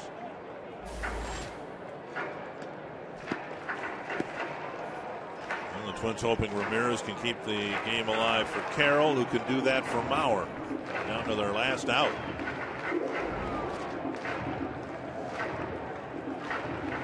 White Sox lost 7 5 to the Angels.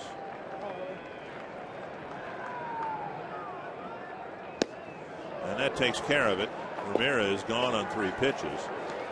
Pretty impressive comeback by the Orioles, who did this a lot last year, but disappointing loss for the Twins. You had a 6 0 lead at these, home. These losses hurt right here. You'd rather lose 1 to nothing than the way the Twins lost tonight. That 6 0 lead, and then the Orioles scored the last nine runs. Not a good game for the Twins. So, Tom Hanneman continuing an unfortunate pattern. The Twins lose the opening game of a series. They'll try to come back and win the series uh, starting tomorrow night. Dick, thanks. Twins lose the series opener now in nine of their 12 series this season. An empty feeling tonight as Baltimore comes back with a big rally. Twins Live is up next.